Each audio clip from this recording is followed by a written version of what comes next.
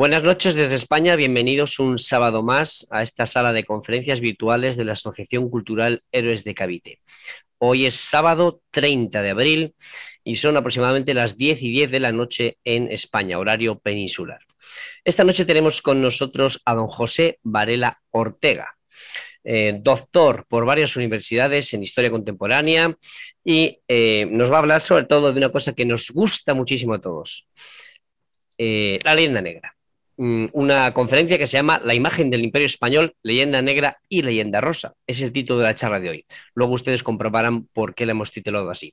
Voy a dar paso, voy a dar paso como es habitual, a nuestro presidente, Ángel Benzal, el cual nos va a hablar un poco de la asociación. Ángel, buenas noches, cuando quieras. Buenas noches, Alberto. Buenas noches a, todos y especialmente al ponente por haber confiado en la Asociación Cultural Héroe de Cavite.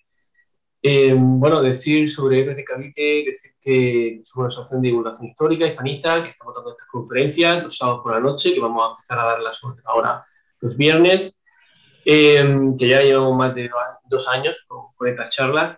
Y, bueno, organizamos también el evento Hispanidad Cartagena. Estamos ayudando a enseñar eh, español a los filipinos en, en, línea y estamos ayudando también a formar asociaciones hispanistas en, en América. y recientemente, pues bueno, mencionar el éxito que ha supuesto para, para, la hispanidad, para nuestra asociación en particular por, coordinarlo, pero para la hispanidad el organizar el Día del Español en el Mundo, porque realmente es una fecha que siempre estaba ahí, la ONU la tiene reconocida, pero no siempre se ha mencionado como el Día del Libro o el Día del, o en todo caso de Cervantes, ¿no? de Segundo. Pues bueno, ya a partir de, que, de la, eh, la campaña hicimos por redes sociales, la cantidad de actividades que se han hecho en, en España y sobre todo en Hispanoamérica, gracias a asociaciones hermanas eh, que han colaborado. Eh, pues gracias a todos pues hemos eh, podido sacar un poco esa fecha que estaba un poco ahí escondida y ya la hemos sacado para, para todos. Ya tenemos el 12 de octubre y tenemos el 23 de abril, Día de Español en el mundo. Al mismo tiempo que era la primera vez que una asociación hispanista se coordinaba no ya en línea, porque eso ya también lo hemos hecho en otras ocasiones, o ya se ha hecho, sino presencialmente, coordinar el que hubiera al mismo tiempo eh, actividades físicas en cafeterías, en plazas, tanto en España como en Hispanoamérica y en, en eh, hoy, bueno, ayer cerramos en, en, América, porque hubo una actividad también en Jalisco, en Guadalajara, en Jalisco, México, y hoy pues eh, hemos tenido eh, un gran evento eh, en Santo Domingo de Silo, también relacionado con, la cuna del, español en la provincia de Burgos, y hemos querido hacer este evento en la población de Santo Domingo de Silo, por lo que representa para el nacimiento de nuestro idioma, el español, ¿no? Entonces, por lo simbólico que es, hemos querido hacer algo, algo allí y la verdad es que nos cuentan los compañeros que han estado organizándolo allí, allí en situ, eh, que ha salido todo perfecto y nada, con ganas de, de seguir luchando en beneficio de la hispanidad. Eh, dicho esto, pues bueno, si hay alguien que se quiere asociar a la asociación, pues bueno, que nos contacte por redes sociales y, y vamos hablando porque al fin y al cabo todos eh, sumamos. Eh, Alberto, te cedo el testigo. Muchísimas gracias, compañero. Muchas gracias a ti, Ángel, y voy a pedir, por favor, a, nuestro miembro de la Junta Directiva, Sergio Pavón, que abra su micrófono porque va a ser él el que va a leer el currículum de nuestro ilustre invitado de esta noche. Adelante, Sergio, cuando quieras. Buenas noches, bienvenido. Muchas gracias, Alberto, por permitirme presentar a tan ilustre ponente que hemos tenido la gran suerte de poder traer hoy aquí a las charlas de los sábados. Antes que nada, presentarme, soy Sergio Pavón, desde Bruselas, Bélgica, y quiero dar las buenas noches a todos los que nos oyen desde Europa y, por supuesto, las buenas tardes a los que nos oyen al otro lado del charco, desde Hispanoamérica. Muchas gracias por estar con nosotros una vez más. Antes de pasar a presentar a, nuestro ponente esta noche, me gustaría contar que tuve la ocasión de conocer a don José Varela el 5 de diciembre de 2018 en Bruselas, en un evento que organizó nuestra asociación RAS junto a la Embajada Española con el título 40 años después, celebrando la Constitución Española. Don José había sido eh, invitado como ponente y compartió agenda con otras distinguidas personalidades como don José Borrell, el actual alto representante de la Unión Europea para Asuntos Exteriores, y otros representantes de la vida política, cultural y económica española, exministros de distintos partidos constitucionalistas, europarlamentarios, economistas y la misma doña Elvira Roca Barea, entre otros. Fue ahí, en ese evento, cuando muchos de nosotros descubrimos a don José Varela en directo y después creamos el Club de Fans Don José Varela Bruselas. Em, don José nos cautivó no solo por su gran calidad profesional, sino también por su enorme calidad humana. Anécdotas personales aparte, para aquellos que no lo conozcan, don José Varela Ortega nació en Madrid en 1944. Es doctor por la Universidad de Oxford, Reino Unido, y doctor en Historia Contemporánea por la Universidad Complutense de Madrid, en España. Ha sido fundador de la Fundación José Ortega y Gasset Gregorio Marañón, director de la Revista de Occidente y editor del periódico El Imparcial. Ha sido agregado de la Universidad de Santiago de Compostela y catedrático por la Universidad de Valladolid y por la Universidad Rey Juan Carlos de Madrid, en España. Don José ha sido Fellow de St. Anthony's College en la Universidad de Oxford, Reino Unido, Fellow del National Humanities Center en Estados Unidos, Visiting Professor por la Universidad de California, San Diego, del Instituto Di Tella en Buenos Aires, Argentina, del Kellogg Institute de la Universidad de Notre Dame en Estados Unidos y director del Colegio de España en París. Es, además, miembro de la Academia de Historia de la Argentina. Don José ha tenido una intensa vida cultural y es autor de una larga lista de artículos y libros sobre historia contemporánea y reflexión política. Entre sus numerosas publicaciones nos gustaría destacar Los amigos políticos de la editorial Alianza en el 77, Historiography, Sources and Methods for the Study of Electoral Laws in Spain de la editorial Nomos de 1990, Imágenes y ensayos del 98 por la Fundación Cañada Blanche, el poder de la influencia, geografía del caciquismo en España de 1875 a 1923, de la editorial Marcial Pons, contra la violencia a propósito del nacionalsocialismo alemán y vasco, de la editorial Giria, del año 2001, El Son de Democracia en España, en lengua portuguesa, de la editorial Libros Horizonte, del 2009, y Los Señores del Poder y la Democracia en España, de la editorial Galaxia Gutenberg, del año 2003. Su último ensayo, del que se nutre en parte la presentación de hoy, es España, un relato de grandeza y odio, entre la realidad de la imagen y la de los hechos, de la editorial Espasa del año 2019. Estamos en la tercera edición de este libro y como veremos a continuación, este libro es un completo recorrido por la mirada foránea de nuestro país. Por tanto, después de esta presentación y sin más dilación, devuelvo la palabra a nuestro fantástico chairman, don Alberto Abascal. Alberto, por favor. Pues muchas gracias, Sergio. Y ahora sí, a lo que ha venido el respetable, como suele decirse, le cedemos la palabra a don José Varela Ortega para que nos hable y nos deje a todos con la boca cerrada con su conocimiento. Don José, buenas noches. Gracias por aceptar la invitación de Héroes de Cavite y la sala es suya. Bueno, muchas gracias a todos, especialmente a, Sergio Pavón, que ha hecho una presentación eh, prolija y probablemente excesiva y a Alberto Abascal, que me ha guiado por los intríngulis de, la informática. Espero que se oiga bien y que se vea también bastante bien. Bueno, yo eh, quiero decirles que mm, no estoy subido a un caballo blanco de Santiago para defender ninguna patria. ¿eh? Eso quiero empezar claramente. Tengo una bata blanca ¿eh? como investigador y a eso me dedico. Y eso es la mejor manera en mi opinión, de defender la patria de uno, hacer ciencia, investigar la realidad y decir la verdad.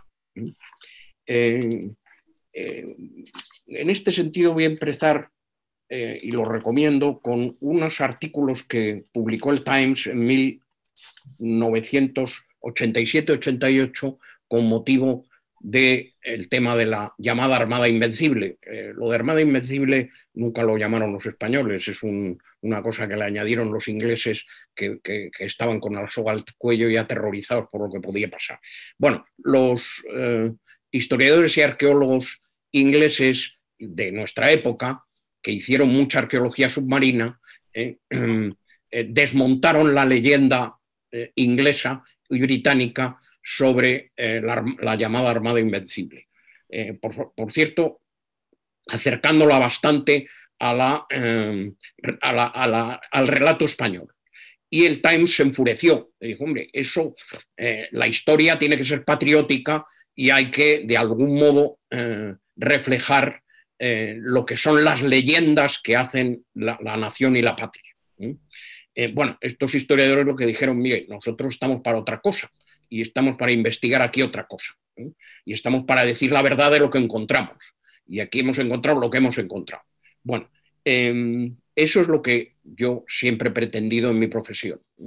Por lo tanto, y creo que es la mejor manera además de desmontar leyendas negras eh, y, historias de ese tipo, como veremos enseguida. Em, dicho esto, eh, como, fin, como forma de, orientar este tipo de cosas y de investigar y de hablar y de escribir y de, eh, razonar sobre estos temas, mm, lo primero que tendría que decirles es que leyendas negras hay muchas. Todos los países que han sido, que han sido eh, imperios importantes tienen su leyenda negra. ¿Eh?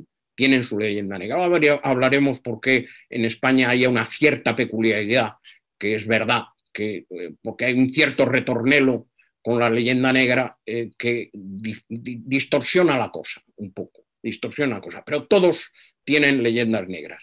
Y las leyendas negras, como dice Ricardo García Cárcel, que es probablemente el, investigador más importante sobre el tema, son más bien grises, ¿eh? tornasoladas. Y por eso eh, hay, hay leyenda negra porque hay una potentísima leyenda rosa. ¿eh? Eso es algo que debemos de entender. yo voy a hablar sobre todo, no de la imagen de España en general, que es demasiado, Em, sino sobre todo sobre las leyendas del imperio, las imágenes del imperio español, es decir, entre el siglo finales del XV y eh, el XVIII, o principios del XVIII, finales del XVII. Eh, lo que básicamente es el imperio eh, hispánico, el imperio, la monarquía católica, en fin, como quieran ustedes llamarle. bueno, lo primero que conviene que entendamos eh, a mí me costó mucho aprenderlo porque soy contemporaneista, me he al 19, no sabía mucho de estas cosas, lo que he tenido es que leer muchísimo, muchísima, em, eh, muchísimo eh, fuentes secundarias, los archivos de la época yo no los manejo, no leo cortesana ni procesal, hay que leer determinadas grafías para, para ir a esos archivos, no era mi condición, lo que he hecho es leer muchísima, muchísimo libro de fuentes secundarias. Bueno, em, eh, lo primero que uno eh, le cuesta eh, caer, el primer burro del cual uno se cae, es que el imperio español, o el llamado imperio español, es un imperio dinástico. Es el imperio de los Habsburgo. Los Habsburgo es una familia extendida. Y eso es absolutamente fundamental. En Bruselas, ya que hay gente aquí que vive en Bruselas, en, Viena y en el Escorial o en Madrid, como quiera llamarlo. Bueno, eh, en los tres sitios. Es verdad que el socio mayor es el español, por eso solemos hablar de el imperio español, pero es un imperio dinástico, un imperio familiar. ¿Eh? Esto es absolutamente central y si no, no se entiende. ¿eh? Porque no se entiende que se les había perdido a estos señores, quiero decir a los españoles, con la defenestración de Praga o con el problema que tenía Viena con los turcos en, eh, asediando la ciudad. ¿eh?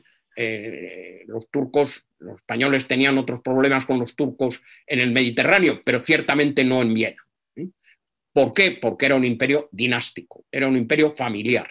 Y luego daremos, verán ustedes algunas ilustraciones verbales sobre que, son bastante chocantes o por lo menos lo fueron para mí. Bueno, eh, yo quiero empezar por la leyenda rosa. El imperio español tenía una potentísima imagen favorable, potentísima. ¿eh? Eh, no es verdad que todo sea negro, todo sea contrario, eso no es cierto. La imagen de, España era de una, vamos, del imperio español era de una enorme fuerza. si, si ahí se proyecta la ilustración primera, eh, eh, no sé quién está al mando de, los, de las ilustraciones. Estoy yo, eh, José, estoy yo. Cuando quieras le voy pasando la las primera, imágenes. Pon la primera. Vamos allá. Que es la del Escorial, una vista del Escorial. Mm. Yo no la veo, pero a lo mejor... No, no, espera, está cargando, está cargando. A veces tarda un poco. Bueno.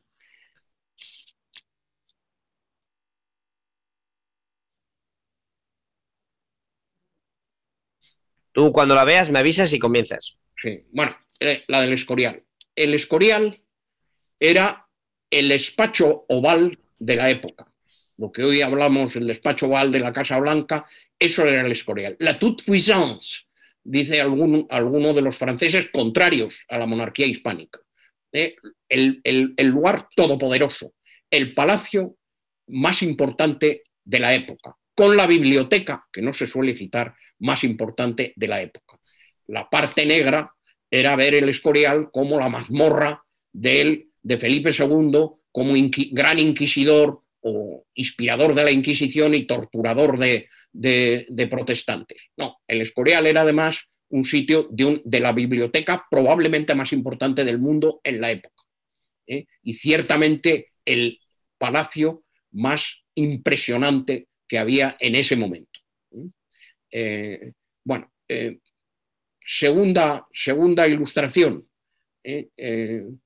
El, perfecto, las ediciones del Quijote. El Quijote ya en el año fue un, bestseller desde el principio, arrasó y se hicieron ediciones inmediatas o muy pronto fuera, en 1620 y, en, y, antes incluso en, la edición francesa. ¿eh? Eh, me parece que la primera inglesa es 1620, la francesa es incluso anterior.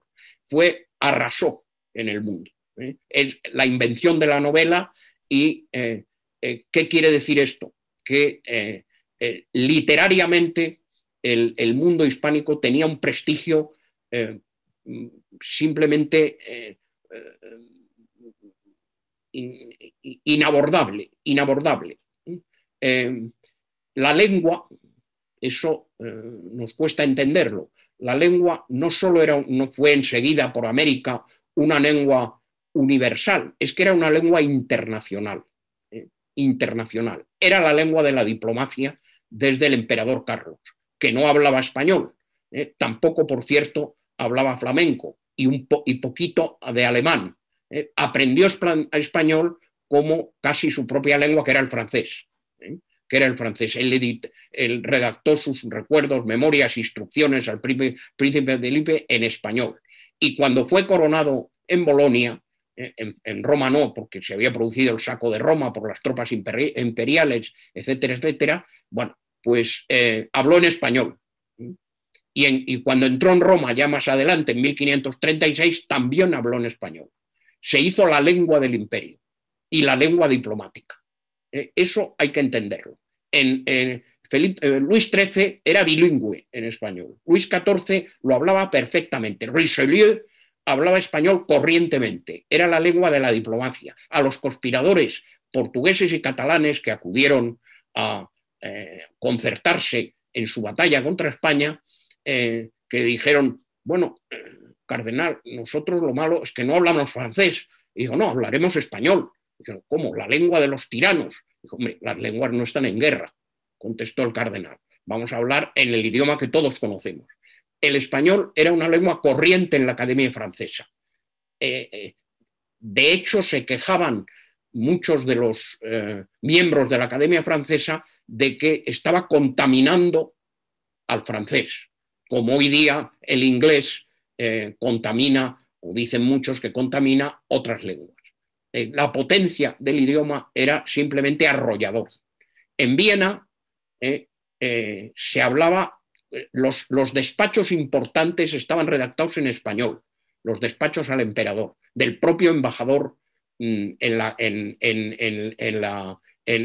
Madrid y en el Escorial. Estaban redactados en español. El español lo entendía todo el mundo de cierto nivel. Eh, solo se traducían al alemán para funcionarios de segunda categoría. Se representaban comedias en español corrientemente. Rodolfo II, el emperador, decía eh, que el idioma que realmente él se sentía confortable era en español. ¿Mm? O sea, eso fue así hasta entrado el siglo XVIII, hablo en Viena. Se representaban, como digo, comedias, lo entendía toda la corte, ¿eh? lo leía toda la corte. Eso no suele contarse. Y eso hay que entenderlo. ¿eh? Y hay que entender lo que era el prestigio de esa lengua. Incluso en los críticos más acervos de, la cosa española como los filósofos, Voltaire, dice en sus, en sus, pensamientos y recuerdos, dice, bueno, hay que reconocer que eh, el prestigio y la importancia del, mundo español, del reino de España, eh, sobrepasaba cualquier, otra, cualquier otro lugar en Europa. Su lengua se entendía y se leía en todos los lados. ¿Mm?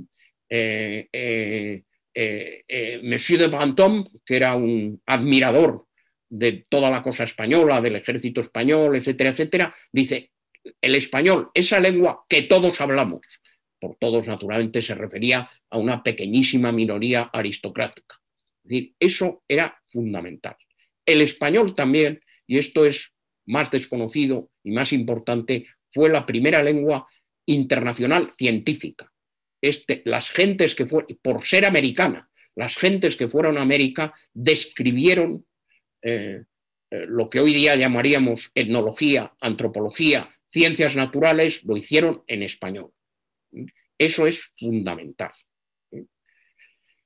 Es un imperio que no se hace por casualidad. ¿eh? Eso fueron los franceses los que más han insistido, los que más han estudiado eh, las navegaciones españolas. La carabela es un invento ibérico, portugués, español.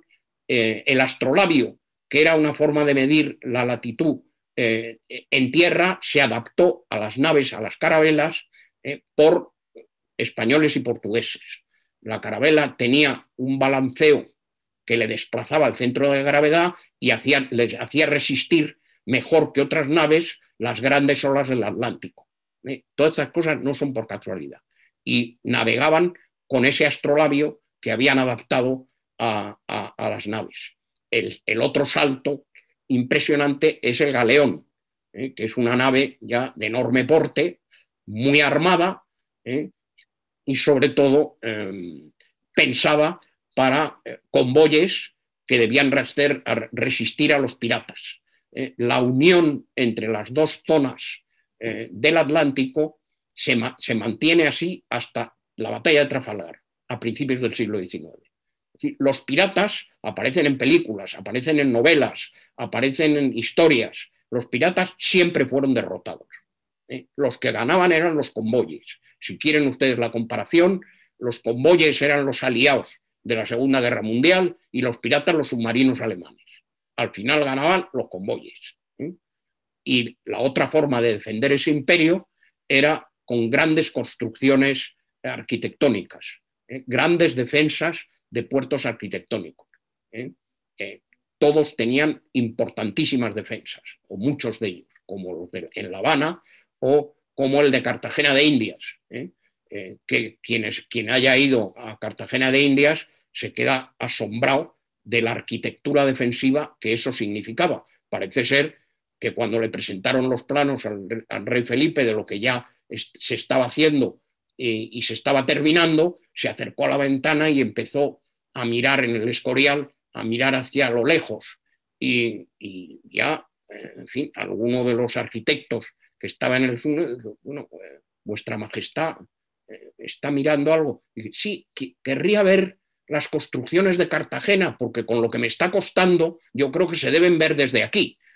Bueno, eh, eso, eso, esa broma eh, realmente significaba lo que eran ese tipo de construcciones que simplemente eran espectaculares. América es una América española y portuguesa, sobre todo española. Eh, en 1621, si no me recuerdo mal la fecha, si no alguno de los tertulios que me corrija, cuando los Pilgrims celebraron ese Thanksgiving que se celebra en Estados Unidos toda, toda la vida, bueno, en 1621, don Juan de Oñate, me parece que es así, ya había pasado el Río Grande. ¿eh? Eh, México era una ciudad de primer nivel. ¿eh? Hay un museo, yo lo recomiendo siempre, los mexicanos lo conocerán muy bien, mal llamado colonial, el Museo del Virreinato, del Museo Meyer, Franz Meyer, en México, donde hay una inmensa maqueta de lo que era el México de 1800. Bueno, ahí se ve lo que era aquello. Se entiende, mm, las 13 colonias eran una cosa muy menor y muy poco importante a todos los efectos. se entiende perfectamente que Humboldt, que era el dios de la ilustración, cuando vio Ciudad de México, dijo, por fin una ciudad. ¿eh? Boston y Filadelfia le parecían un pueblo ¿eh? y se quedó absolutamente admirado. Eh, Humboldt entró prejuiciado y salió admirado de lo que era la América española.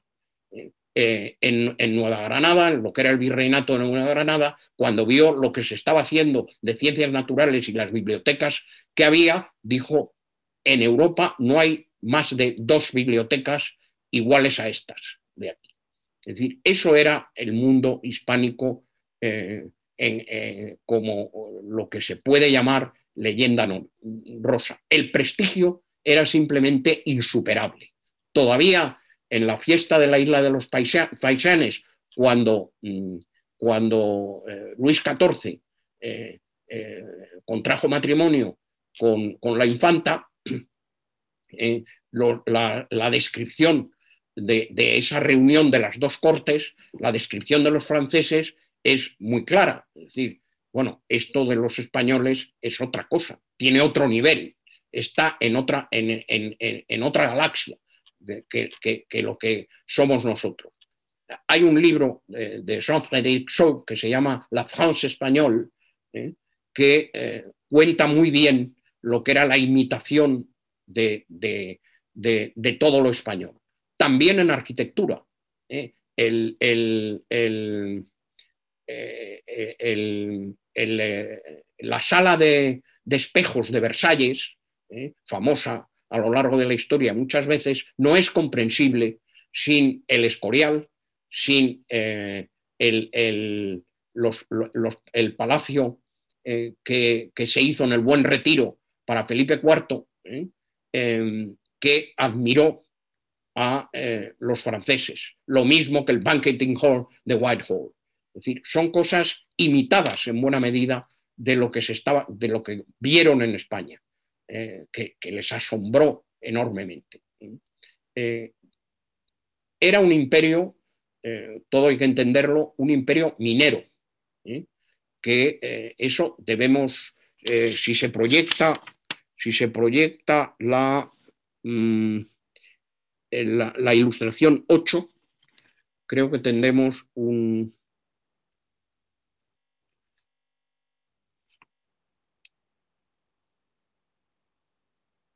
una idea muy gráfica del asunto.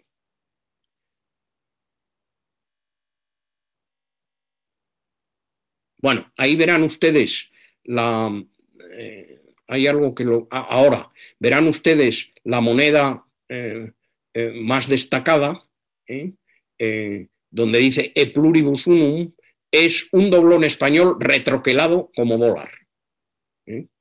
El, real de A8 español y las piezas españolas de, oro circularon en Estados Unidos hasta 1857, en, Canadá hasta 1870 y en, China hasta 1900. Es decir, era la divisa el monopolio de la divisa era la característica del imperio. No por casualidad era un imperio minero. ¿eh? Y naturalmente eh, Nueva España, que antes hemos citado, o el virreinato del Perú, eran, digamos, no eran colonias, eran eh, conglomerados inmensos dentro del mundo de castellano. Eran virreinatos con un enorme poder y los habitantes eh, tenían, mm, habitantes, digamos, del mundo naturalmente aristocrático que rodeaban al virrey, tenían una enorme influencia sobre la política virreinal. Cuando se hizo el apoyo a la, independencia norteamericana, ¿eh? financiada en buena medida con, dinero novohispano, ¿eh? el rey y Florida Blanca lo quisieron hacer y hubo que convencer a los mexicanos, diríamos hoy día, o novohispanos, de que esa era la política de la corona. ¿eh? No fue una, tarea fácil, no eran cosas inmediatas y no eran cosas sobre todo impuestas. ¿eh? Era un, lugar eh, muy especial. Bueno, esto yo creo que da una idea de lo que quiero decir como, como la importancia digamos, de lo que era ese mundo. podemos luego, quizá más tarde, hablar de la importancia que tenía el ejército, que es lo que, los tercios, que es lo que más se suele citar, em, pero eh, quizá lo podemos dejar en la idea del, caballero español de la época, que quizá lo podemos dejar para más tarde. Naturalmente, una potencia de esa envergadura, ¿eh? que además representaba el imperio, ¿eh? el imperio Habsburgo, en Viena, Bruselas y, Madrid o el Escorial, claro, era, era algo tan mm, abrumador que produjo también eh, eso que llamamos leyenda negra, es decir, una onda crítica eh, eh, que Anthony Pagin, que es un inglés que ha estudiado esto de los imperios, dice, bueno, esto que los españoles llaman leyenda negra y todos hemos conocido como leyenda negra, en el fondo es un tributo que hacen potencias menores a la superioridad de lo que durante 300 años fue la monarquía hispánica. Bueno, yo creo que está bastante bien definido.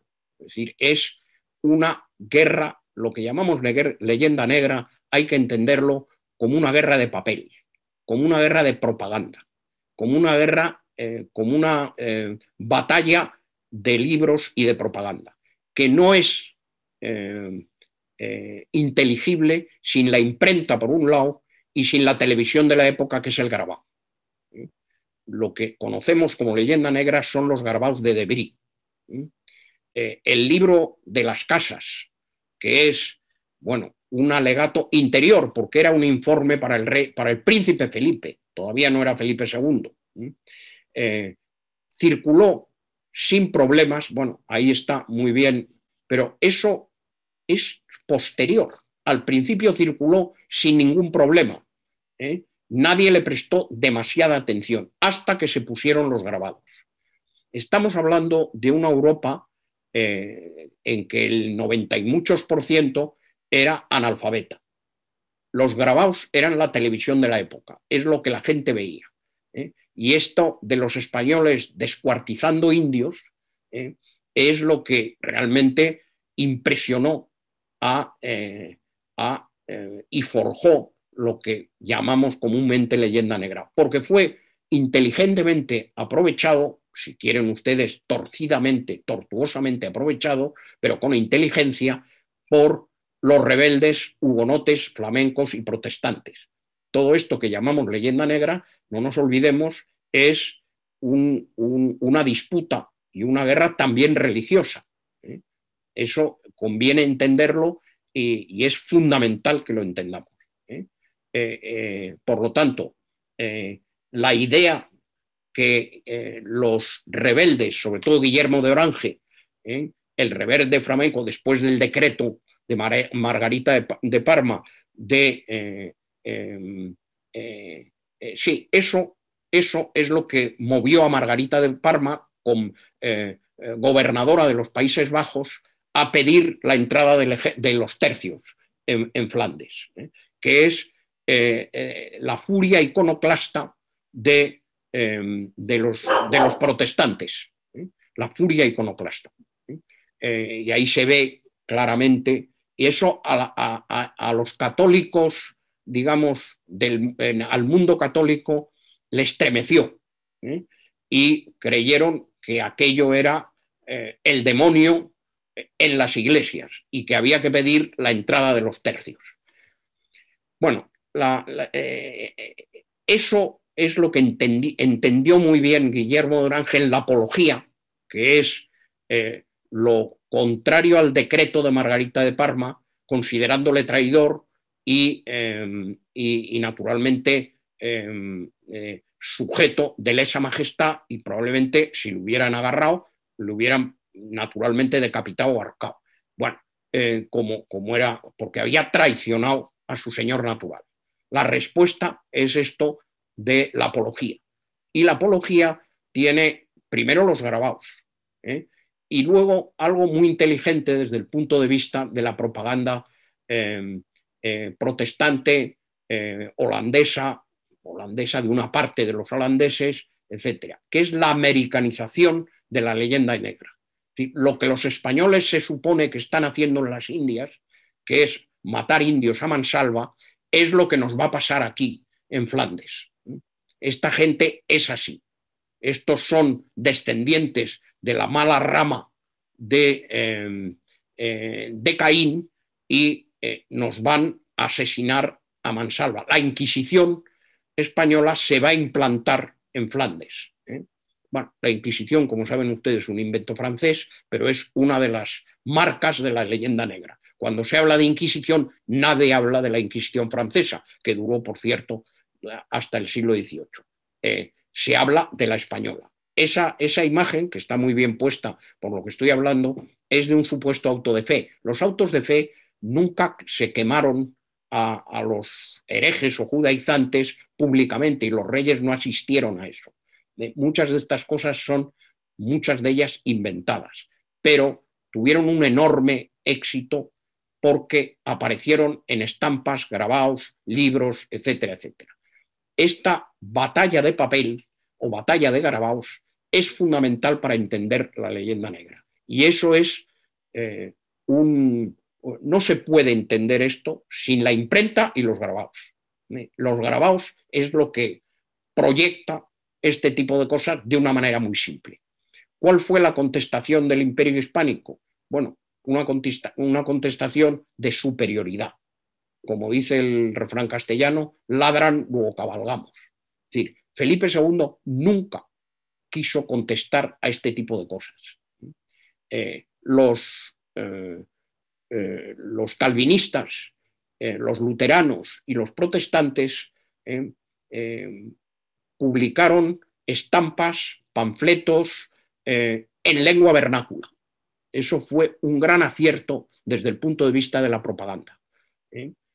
La, la defensa española fue doctrinal, en latín muchas veces, doctrinal, y no atacando ni, ni, de algún modo eh, ridiculizando o em, mintiendo sobre el adversario, sino eso les parecía eh, de mal estilo, de mal gusto em, y no había que hacerlo.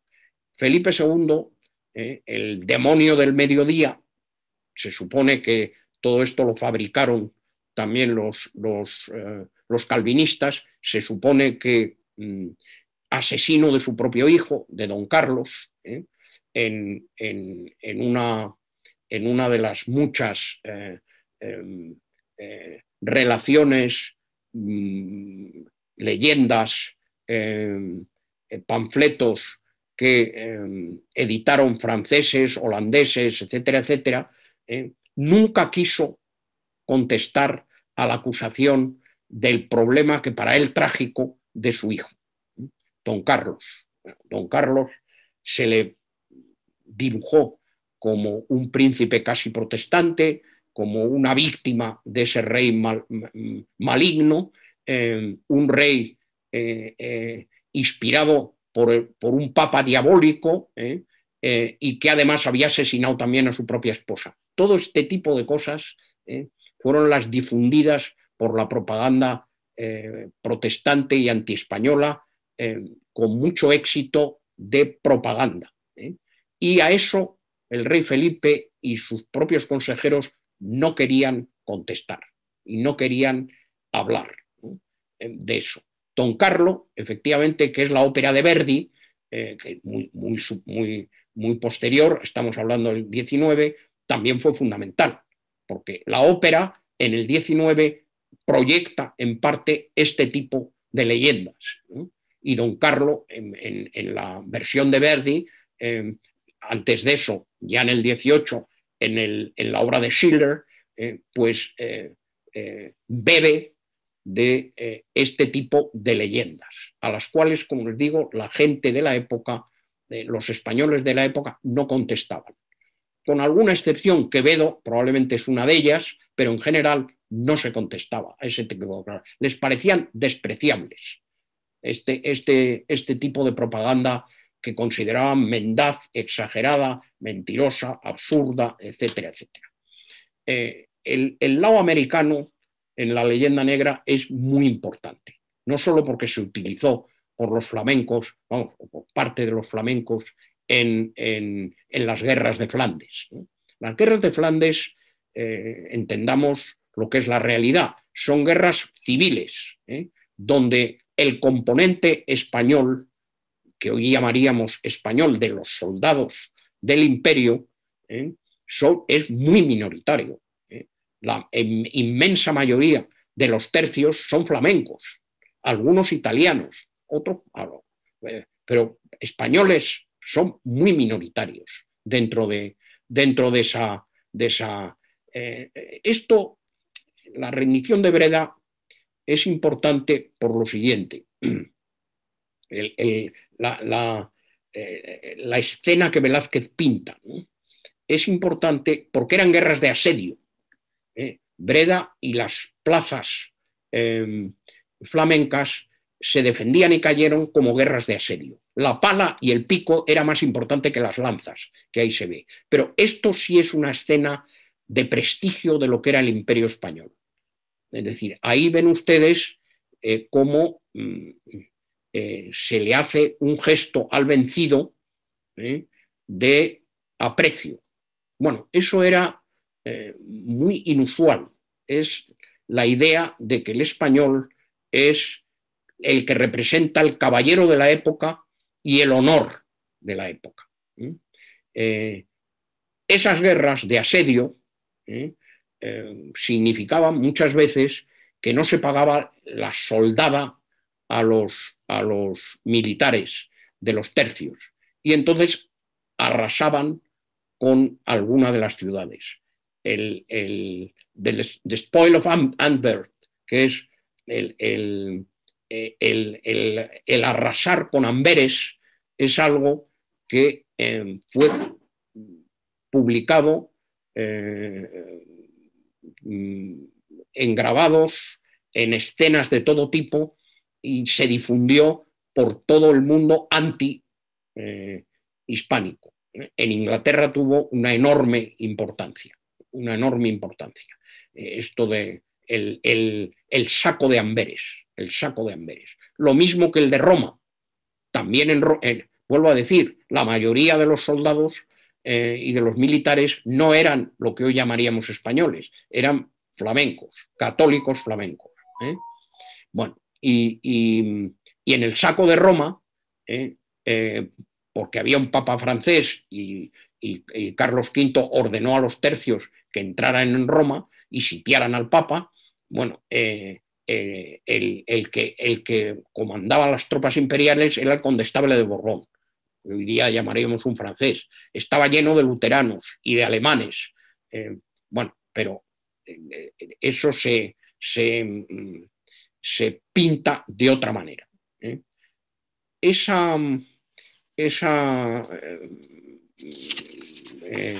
ilustración que ahí hay es, es la, la, coronación de Carlos V en Bolonia. Claro, eso Mm, eh, se ve lo, multinacional que era ese imperio, que hoy llamaríamos, de que era el gran imperio de la época y naturalmente em, eh, existían eh, tropas de todo tipo. Bueno, eso, eso es importante, eso que acaba de esa ilustración, que es el, el la idea mm, de una divisa de los Habsburgo. Otros hacen las guerras, tú, Austria Félix, nube. Tú, eh, Austria feliz, eh, Austria como dinastía, como los Habsburgo, lo que haces son bodas y casamientos. ¿eh? Bueno, eso tiene un lado de superioridad, de la idea de que el imperio es el imperio y la familia fundamental de todos, y tiene un lado herético para aprovechado por calvinistas, por luteranos, por desde luego por judíos, etcétera, que es que eh, el imperio hispánico y austriaco y Augsburgo pretendía la monarquía única y total del mundo, lo cual lo consideraban eh, que tenía una intención mesiánica, ¿eh? lo consideraban como algo, eh, digamos, contrario a las profecías de la Biblia. La, monarquía universal era la, vuelta del Mesías, la vuelta de Cristo. Y pretender hacer una monarquía universal antes era una, suerte de herejía. ¿eh? E, en esta época tenemos que entender que eh, eh, todos estos tratadistas, de un lado y otro, son mm, gentes que conocían muy a fondo su Biblia. Muchos de ellos habían sido, venían de familias judías, además, conocían muy bien su Biblia. Y la disputa con mucha frecuencia son disputas bíblicas. Esto del imperio universal como algo herético es bíblico. Lo mismo que eh, esta cosa de, eh, volvemos a América, de eh, la idea de que los españoles lo que hacían es simplemente, mm, o los castellanos, lo que hacían es arrasar con los indios eh, sacrificarles, asesinarles, etc. Bueno, esto tiene un problema y, naturalmente toda la literatura que hay ahora sobre ese tema o mucha de la literatura hace la comparación con la SOA, con el genocidio nazi. Los españoles hicieron lo mismo. ¿eh? Bueno, eso tiene un problema, tiene un problema, o tiene varios problemas. Eh, un, nacionalista mexicano, don José Vasconcelos, ya lo dijo. Bueno, el problema, vamos a ver, hay, pocos indios, mm, de indios autóctonos. Eh, indios, por cierto, es una palabra occidental. Los indios no se llaman a sí mismos indios. Si en el futuro nos conquistan los chinos, es como si de pronto un tratadista los blancos en Europa, hombre, no. Hay franceses, españoles, italianos, alemanes, etc. Bueno, los indios en, el propio, en el propio Valle de México, los aztecas eran unos, los tlaxcastecas eran otros, es decir, había cantidad de tribus distintas, ¿eh? cantidad de tribus distintas. Había eh, un político mexicano que una vez dijo algo, eh, Castillo Veraza, que tenía un cierto sentido. Vamos a ver si de una vez decimos la verdad, ¿no? que la conquista la hicieron eh, los indígenas de diferentes tribus y la emancipación la hicieron los, los criollos y los españoles. Bueno, algo de eso hay, algo de eso hay.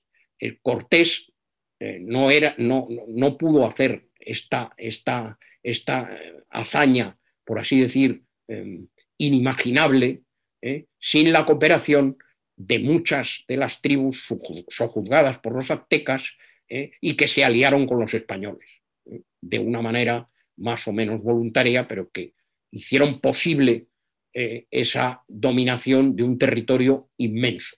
Bueno, la comparación con el tema eh, nazi eh, contra la idea de la aniquilación y del genocidio, que es lo que ahora esto dicen, bueno, los españoles tienen que pedir perdón y esto que hemos oído de López Obrador y todo este tipo de cosas. vamos a ver, eh, eh, Vasconcelos lo decía bien y luego lo dijo lo mismo Salvador de Madariaga, un, político liberal español. Bueno, vamos a ver, hay menos indios autóctonos, menos indígenas autóctonos porque hay mestizaje, hay muchos mestizos. ¿eh? Y eso no es por derramamiento de sangre, es por mezcla de sangre, que no es lo mismo. Bueno, eso hay bastante en ese sentido. La segunda cuestión fundamental es que América, eh, en la bula papal, se otorga a españoles y portugueses para evangelizar. Esto es fundamental. El indígena era la materia de evangelización que justificaba la eh, penetración y la conquista o la incorporación a la monarquía hispánica y portuguesa de eh, de esos territorios y de esas tribus, naciones, etcétera, etcétera. Esto es absolutamente central. ¿eh?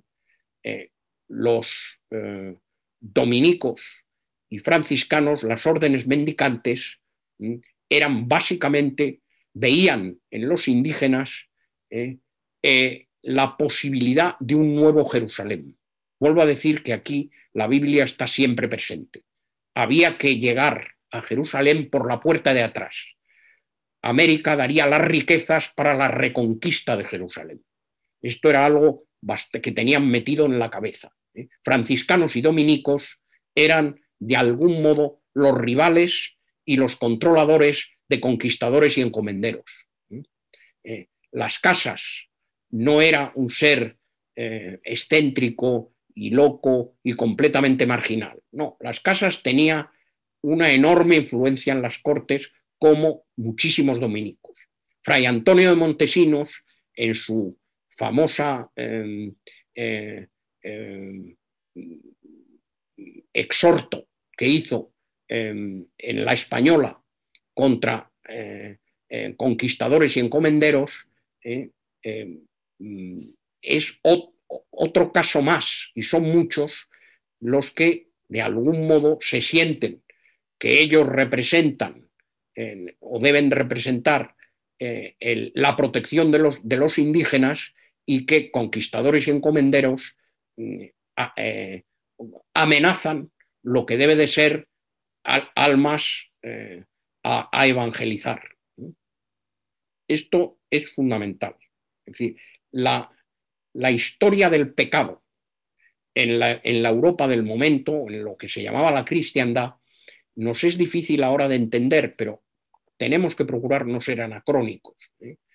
estas gentes creían a pies juntillas lo que predicaban eh, dominicos y franciscanos. Y el hecho de que Fray Antonio o, las casas les dijeran que no se podían salvar con lo que estaban haciendo o con lo que podían hacer y que además debían restituir las riquezas que habían quitado a los indios eh, y si no, no se salvaban. Eh, hay una eh, en, el obispado de Chiapas hacen una, una, compilación de lo que es el confesionario eh, y de lo que debía de ser eh, para salvarse, que realmente tenía un impacto enorme, enorme. El, aterrorizó a los conquistadores y encomenderos.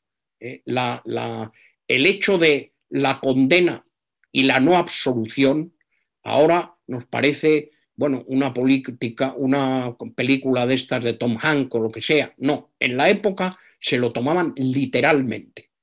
El no eh, poderse, eh, eh, no obtener la absolución era algo que les aterrorizaba. Es decir, todas estas escenas que también se reproducían en grabados, etcétera, de las almas eh, ardiendo en el infierno y tal, para estas gentes era algo literal.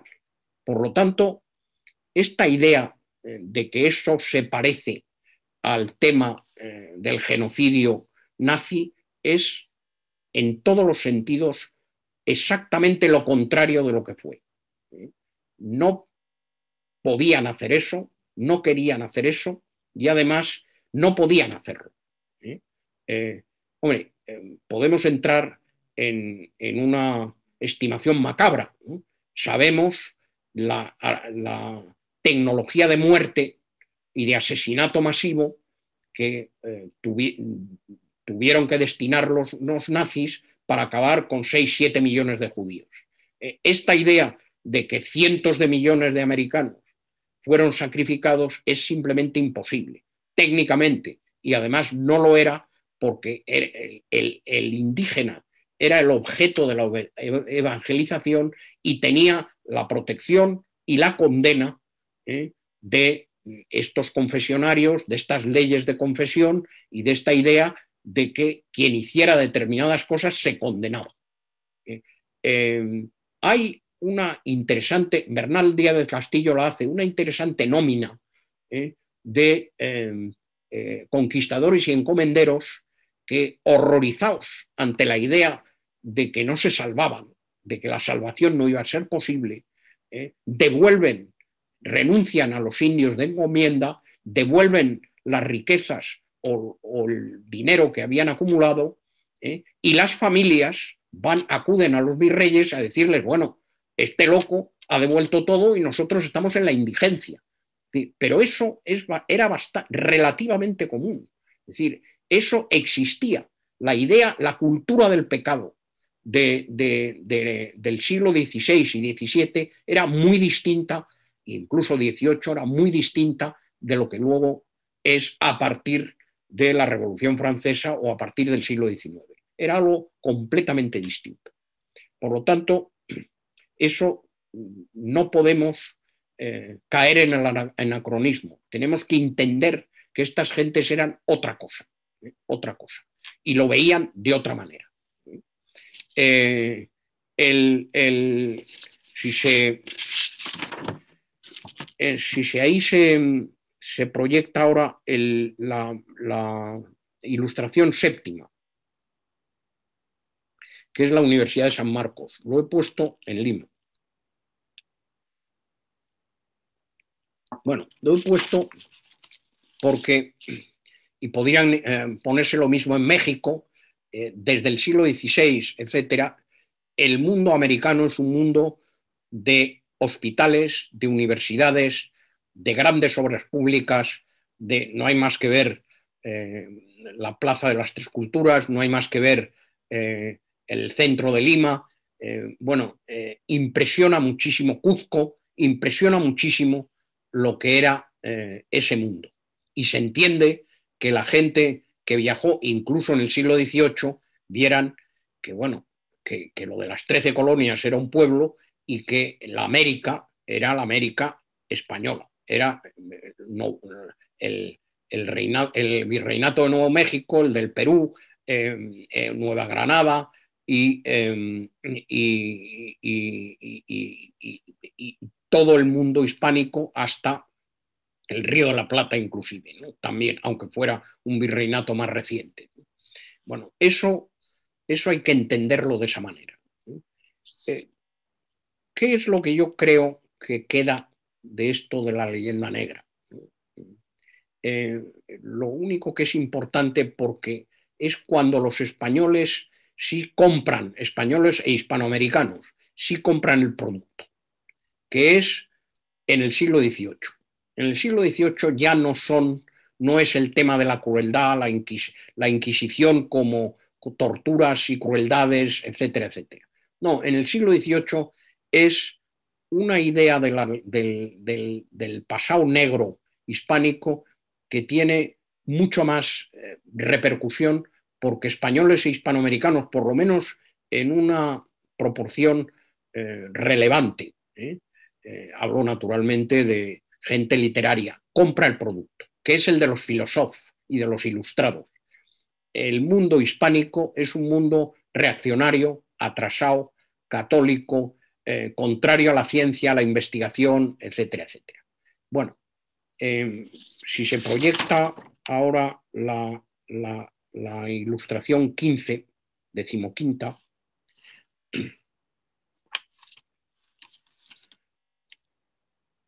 Bueno, esa es la expedición de Malaspina. Bueno, resulta que ese mundo atrasado, tal, no sé qué, bueno, es el que Humboldt se queda admirado.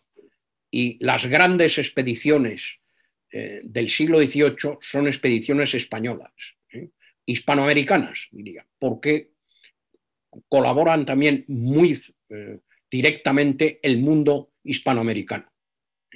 Eh, no, solo la de la vacuna, ¿eh? que ahora con la pandemia eh, se ha puesto también de moda, sino grandes expediciones que se hacen, muchas de las cuales llegan hasta Alaska. ¿eh? Alaska llegan porque bajan los rusos. Y claro, el, establecer tres em, posiciones españolas o, del Virrey, o de Nueva España en Alaska y desde luego en California era fundamental para eso. Eh, em, la expansión inmensa de ese imperio y las navegaciones em, de esa época eh, son espectaculares. Y sin embargo, la mala prensa, esta de los filósofos, también. ¿eh? Los buques de la Armada eran laboratorios flotantes. ¿eh? El oro empezó a ser el oro verde. ¿eh? La gente no suele saber que el Museo del Prado era, se convirtió en Museo del Prado y antes que eso era la extensión de investigación del botánico en Madrid era un, centro de estudio de ciencias naturales, que existía también en América, en los varios reinatos de América, que existía en Canarias ¿eh? ¿Eh? y que era lo que llamaríamos hoy día investigación en ciencias naturales. Era un lugar, el mundo hispánico, que estaba en la frontera de la ciencia del momento, en la vanguardia de la ciencia del momento. Pero curiosamente, hay esta idea, esta mala prensa de los filósofos y de eh, los ilustrados. Entendámonos, estas gentes, filósofos ilustrados, tenían mucho miedo a la Inquisición francesa, a la francesa, ¿eh? no a la española, a la francesa. ¿eh? Por cierto, a Servet lo ajusticiaron y lo mataron en Suiza, no en, la España inquisitorial. Bueno, Voltaire no pudo entrar hasta el último año de su vida en París.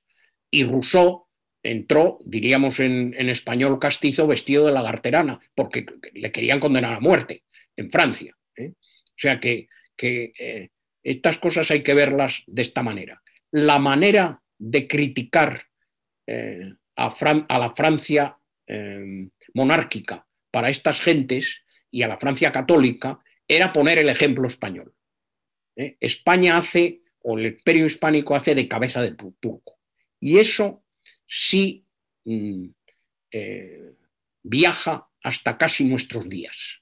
El abogado de los eh, golpistas eh, catalanes independentistas de hace muy pocos años, con gran habilidad, cita la apología de, Orange y se refiere a este tipo de idea. España es un país eh, inquisitorial, atrasado, eh, poco proclive a la ciencia, etc. Lo hace con gran habilidad, con gran habilidad. ¿eh? eso, eso sí es lo que quizá diferencie a la leyenda negra española de otras leyendas negras que existen. Bueno, no hay más que ver lo que escribió Vargas Llosa de, Bélgica y del Congo para saber de qué hablamos. ¿eh? Eh, es decir, que eso, pero en el caso español hay una especie de ritornelo que surge una y otra vez, ¿eh? que surge una y otra vez cuando la ocasión es propicia, como manera de desacreditar cosas que no tienen nada que ver y con épocas que no tienen nada que ver y con gentes que no tienen nada que ver. Hombre, la característica de lo español es precisamente la contraria. ¿eh? Es el único imperio que se cuestiona el derecho de conquista, lo que se llamó la duda indiana, que es eh, la polémica, el debate en, la, en, Valladolid, en, en, las universidades castellanas, sobre todo en Valladolid, pero luego también en Salamanca, etc. El debate de la duda indiana, ¿eh? tenemos derecho a imponernos en un, entorno determinado. Eso no hay ningún otro lugar, país de imperio que se haya cuestionado a sí mismo esa situación. Eso es el derecho de gentes, es Vitoria, es Suárez, es eh, bueno, algo que de algún modo avanza lo que siglos después sería el, eh, el derecho internacional y los derechos humanos. Bueno, eso a mí me parece que es eh, al revés. Eso es algo característico y, si se quiere, de determinados puntos de vista, muy favorable para, digamos, la imagen de España. Aunque haya sido utilizado, aunque haya sido utilizado de una manera retorcida y a veces torticera por los que querían presentar eso de una manera contraria. Vuelvo a decir, la brevísima de las casas ¿eh? que parece que es algo, eh, es un alegato para convencer a los reyes que tenían que intervenir. ¿eh? En este caso, dirigida al príncipe Felipe, que luego sería Felipe II. Y estas gentes tenían enorme influencia en la corte, empezando por las casas. ¿eh? Y desde luego también otros dominicos y franciscanos tenían una enorme influencia en la corte, porque la idea que viene del Levítico, estamos otra vez en la Biblia, era que el, rey, en este caso emperador, Carlos y Felipe II después, eran, eh, el pecado era un pecado insólido, era un pecado colectivo, que afectaba también, es decir, si los, si los indígenas eran maltratados, eso afectaba también a los reyes. Los reyes eran responsables y culpables, cometían pecado. ¿eh? Y eso, de ahí nace las, primeras eh, reuniones eh, con teólogos, el primer cuestionamiento del tema y la idea de que los indios o los indígenas no se podían esclavizar, que la esclavitud era en contra de las leyes religiosas y de las leyes, y de ahí nacen las leyes de Indias, nace de ese tipo de cosas. Es decir, el proyectar eh, hacia los reyes la responsabilidad que tenían de sus súbditos indígenas, mestizos, etc. ¿eh? De que eso eran parte del reino de Castilla y luego a partir del siglo XVIII eh, de, toda España y que eran responsables del tema. esto es algo que mm, se entiende mal y se comprende mal si no entendemos que todo esto de la duda indiana, del debate, de las leyes de Indias tal, nace de ese tipo de cosas. Y de la preocupación que tienen eh, el príncipe, eh, el rey Fernando, para empezar, luego eh, su nieto, el, emperador Carlos, y por fin Felipe II. Esto es algo que conviene entenderlo perfectamente. Si no, no, no, no nos orientamos y confundimos y empezamos a hacer este tipo de, eh, en fin, de anacronismos del cual estamos viviendo ahora que eh, derriban estatuas, dicen que, que Colón era un genocida, en fin, este tipo de cosas. Caemos en este tipo de generalizaciones eh, más o menos disparatadas, que lo que hacen es confundir épocas, confundir gentes, confundir situaciones y es muy importante que tengamos una idea clara de lo que, de lo que hay. Eh, en el caso de España, eh, con esto de la leyenda negra, hay otra, otra cuestión eh, que sí, bueno, que como digo, tiene que ver con lo que he dicho del 18, que es que de algún modo interiorizan la culpa. critican determinadas cosas, pero interiorizan la culpa es un tema eh, de psicología colectiva. un historiador francés de las grandes navegaciones del imperio, Pierre Sonu, que escribió un libro de esas grandes francesas de 27 volúmenes, que se veía Sevilla y el Atlántico, publicó un libro sobre esto de la un artículo sobre esto de la leyenda negra y subrayo donde lo publicó porque es importante, en una revista de psicología social. ¿eh? Dice, hombre, leyendas negras todos hemos tenido, a todos nos han acusado de cosas, a todos los países imperiales nos han acusado de estas cosas, pero realmente los que se toman esto en serio ¿eh? Eh, son los españoles, o muchos españoles. Tienen una obsesión que los demás pues, no, hemos tenido, no hemos tenido ese tipo de obsesión se lo, se lo tienen que hacer mirar. Esto es un problema de psicología colectiva, es un problema psicológico. Bueno, algo hay de eso. Hay un complejo, un cierto complejo que tiene poco que ver con la realidad eh, y tiene poco que ver con, bueno, pues eso, que, con esas universidades, hospitales, con ese eh, enorme desarrollo cultural y de todo tipo de la América española y del mundo hispánico en general, es decir, y del mundo del, imperio en general. Eso, eso eh, eso distorsiona completamente, eh, tanto en España como en Hispanoamérica o Iberoamérica, distorsiona la realidad. Eh, eh, debéis invitar alguna vez a alguien que, os hable de cómo los iberoamericanos y los hispanoamericanos han, han digerido su propia historia o, tienen problemas con su propia historia y interiorizan una especie de pecado de origen que tiene algo que ver con esto, pecado de origen español, que tiene algo que ver con esto. ¿eh? Un, complejo, un complejo que no se corresponde con la realidad de los hechos o la realidad que un Humboldt o que gentes que llegaron a, eh, eh, vivían el 18 vieron lo que era ese mundo de español o hispánico o hispanoamericano, ya en general, porque eso era hispanoamericano.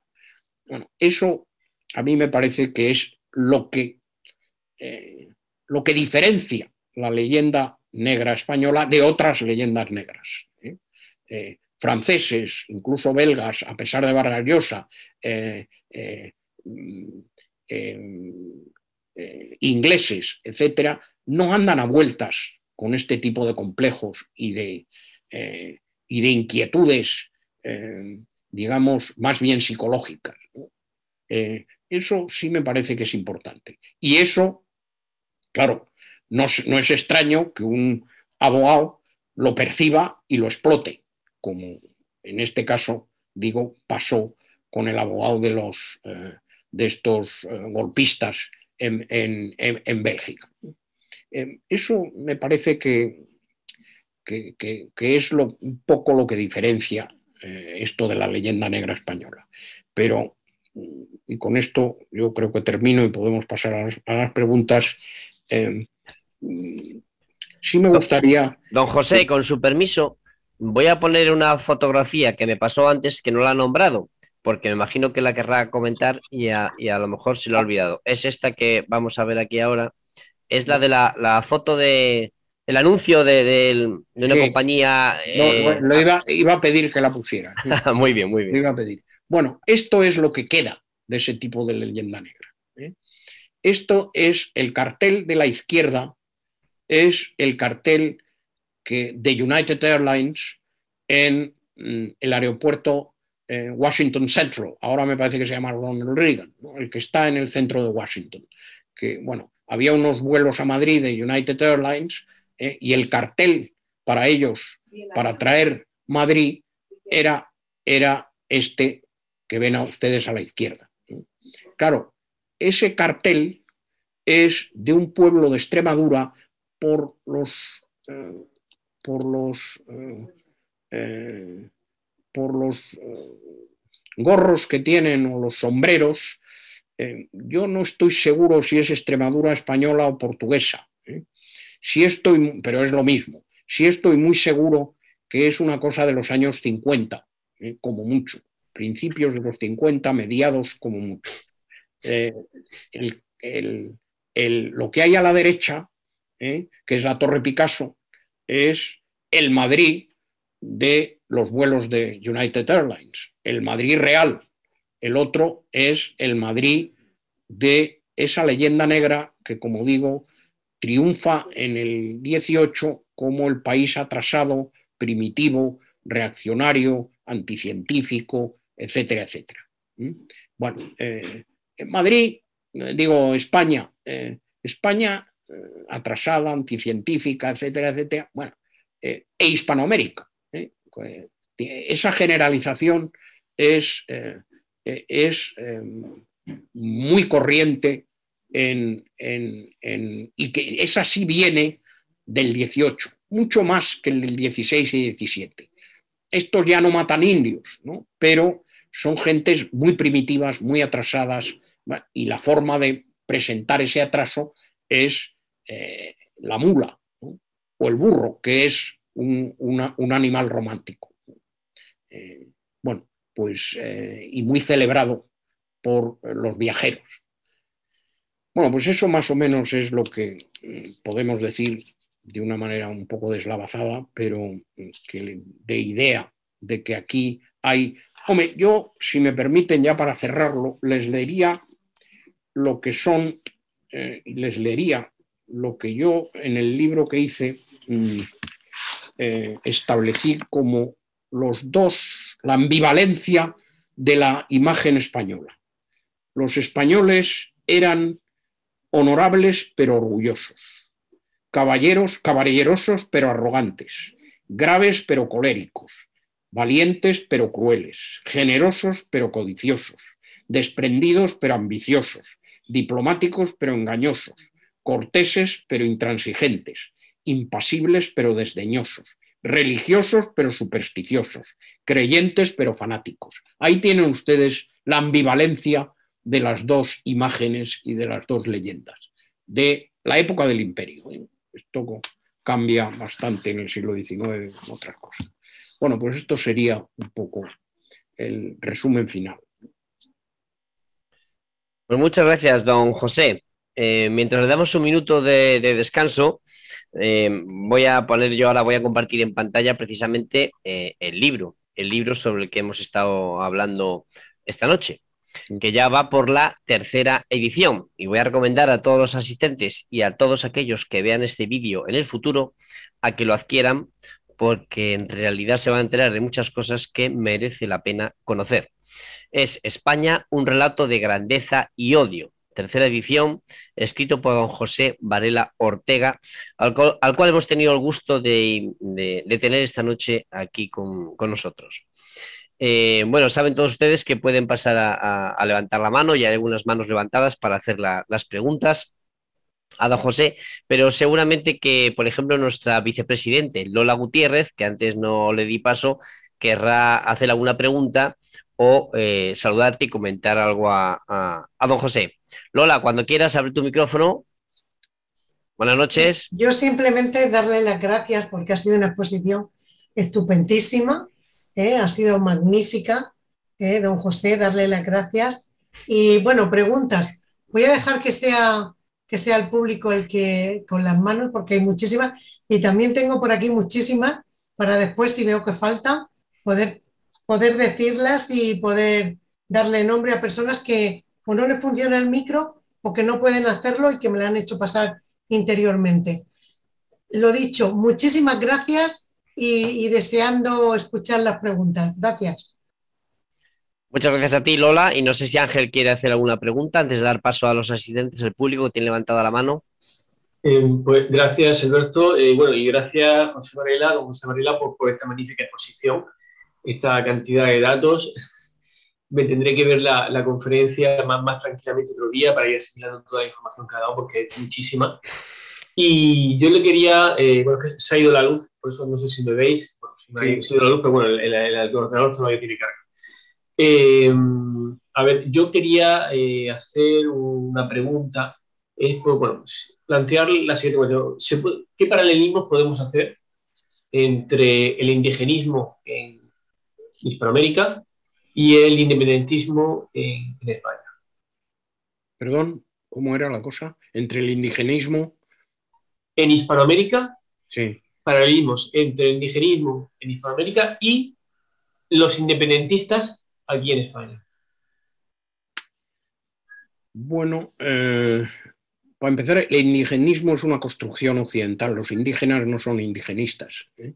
son cada uno son de su tribu, de su nación. A ver, pero, es que a lo mejor no. Pero, pero eh, efectivamente hay una sobregeneralización y hablan del, indigenismo como manera de recobrar eh, lo que se supone que es el pasado primitivo antes de la presencia de los españoles o incluso de las repúblicas actuales. Es decir, es curioso que yo me encontré con que en Chile em, los, eh, estas, eh, estas, estos que están a veces ponen incluso bombas en, los repetidores de televisión y tal, eh, en el sur de Chile, pues uno de ellos que le entrevistaron dijeron, no, es que nosotros no reconocemos el Código Civil, porque eso es una cosa que no tiene nada que ver con el origen de nuestras naciones y de nuestros países y de tal.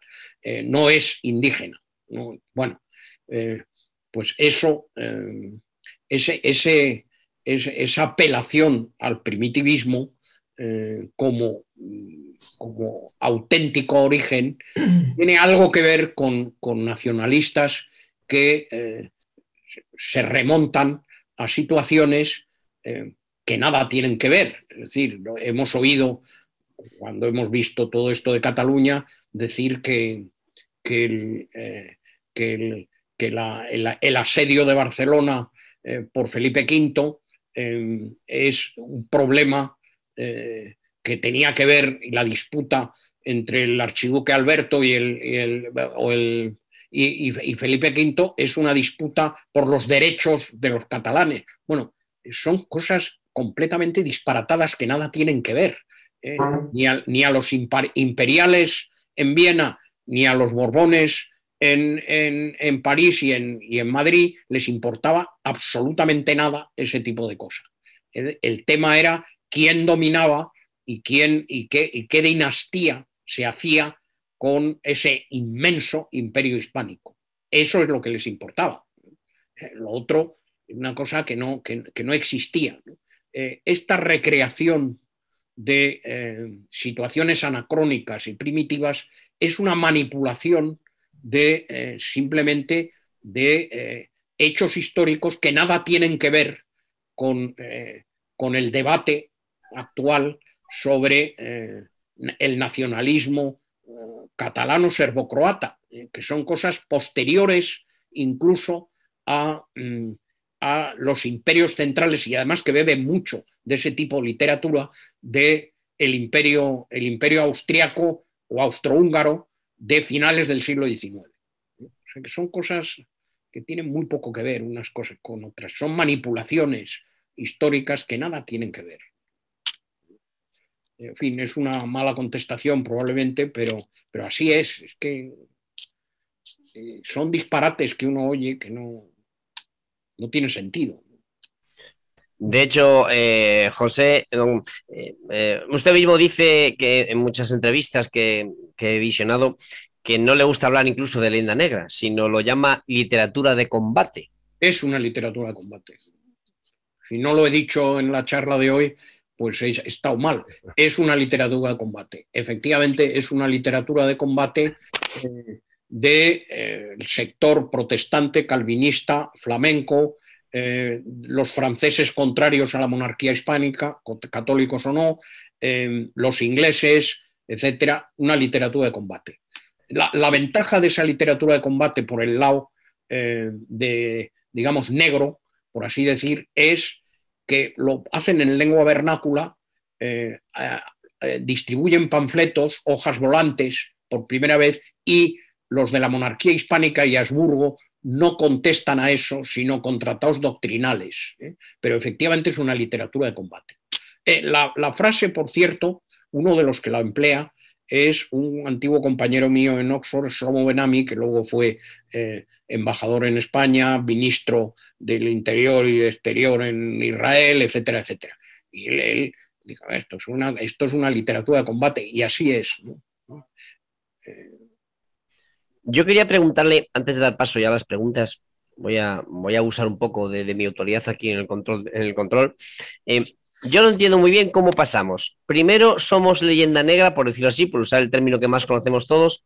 Em, se nos empieza a dar esta leyenda negra porque nos mezclamos, es decir, no somos racistas, porque nos mezclamos con judíos, nos mezclamos con moros, y entonces ahí más o menos, ¿no? El reino de Nápoles, en Italia, es cuando comienzan ahí esas primeras, eh, esos primeros, bueno, esos primeros, es el comienzo de la leyenda negra, ¿no?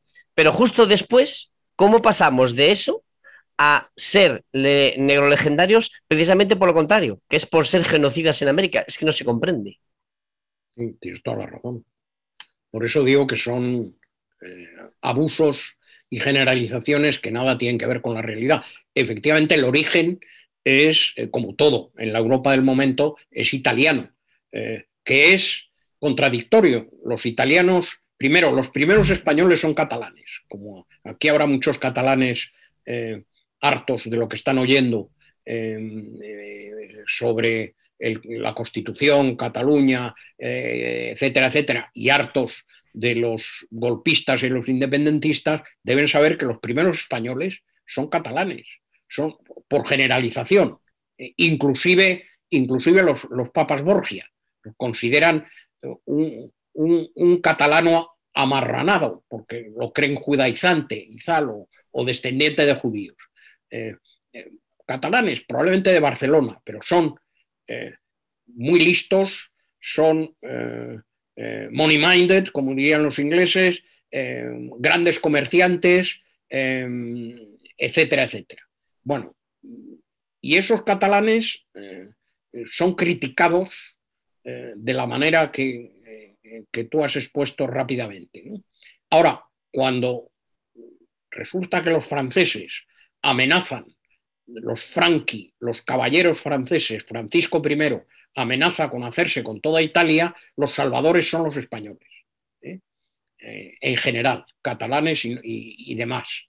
¿eh? Los tercios son, en la batalla de Padilla, los que liberan a Italia de esos franqui, caballeros, germanos, bárbaros, etcétera, que quieren apoderarse de Italia. Claro, cuando los liberadores se quedan, vuelven a ser, otra vez a ser criticados por godos, atrasados, etc. Eh, cosa que a, que a, españoles de cualquier condición, incluidos los portugueses o hispanos de cualquier condición, les sorprende, porque efectivamente, hombre, el, origen de, bueno, de, los reinos europeos, no solo, no solo los reinos españoles y el mito de Don Pelayo y todo eso y los visigodos, sino muchos de los reinos, eh, antiguos reinos europeos, empezando por los franceses también, por los francos, eh, pues eso es un motivo de orgullo. Descienden de los godos. Eh. Para los italianos, esos godos es la Edad Media, es el mundo primitivo y bárbaro, no latino. O sea que esas contradicciones se dan continuamente, continuamente. Bueno, pues nosotros a partir de ahora en nuestra asociación comenzaremos a, usar ese término de mm, literatura de combate, que es lo que hacemos todas las noches de los sábados, dar combate precisamente para luchar contra esa que mal llamada leyenda negra, como le gusta decir a don José Varela y Ortega. Voy a dar paso ahora ya a las preguntas del público, que hay varios asistentes que tienen levantadas la mano. El primero sería Ricardo Hernández Murillo, así que le vamos a pedir por favor que active su micrófono y que, formule su pregunta. Mientras Ricardo activa su micrófono, le recomendaré a todos ustedes que para, eh, que no se para que no nos eternicemos esta noche, como ocurre algunas noches, eh, intenten ser concisos en su pregunta, sean claros y breves. De esta forma habrá más asistentes que puedan eh, preguntar. Eh, Ricardo, adelante. Dile por favor a don José desde dónde le hablas. Gracias. Hablo desde Nueva España, claro, desde México. Realmente desde Guadalajara. Un gusto para todos conocerlos y, hablar.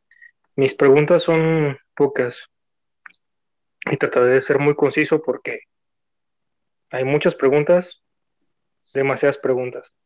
Eh, mi eh, Ricardo, Ricardo, si no te importa, vamos a hacer una cosa. Vas a hacer, como he oído que tienes que hacer preguntas eh, varias y a todo el mundo dejamos que pregunte lo que quiera, pero por respeto a los demás asistentes, te voy a pedir que hagas una pregunta.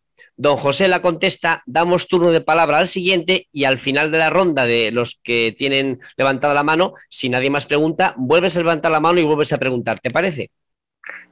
Perfecto. mi, mi pregunta que yo insistía es, sobre la, la manera tan importante que, en los virreinatos, sobre todo en, América, se vino a venir, o más bien pasó de que, de que teníamos un mismo sistema de, pesos y medidas. ¿Qué pasó en, todo, en todo el, el, reino, en todo el imperio, para que sucediese eso? Por ejemplo, aquí en Nueva España llegó el primer virrey y puso un mismo sistema de pesos y medidas, pero en diferencia con otros virreinatos variaban un poquito las cifras, pero no eran importantes, eran milésimas o centésimas de diferencia. el punto es que muchos hablamos de, o muchos hablan de, de batallas, etcétera, etcétera, pero tampoco hablamos de, de, los beneficios que tuvimos cuando estábamos unidos, porque hubo muchos beneficios, demasiados beneficios, y ese sería mi comentario y mi pregunta. ¿Qué pasó para que hubiera un mismo o casi, casi un sistema igual de pesos y medidas? Ya terminé, gracias.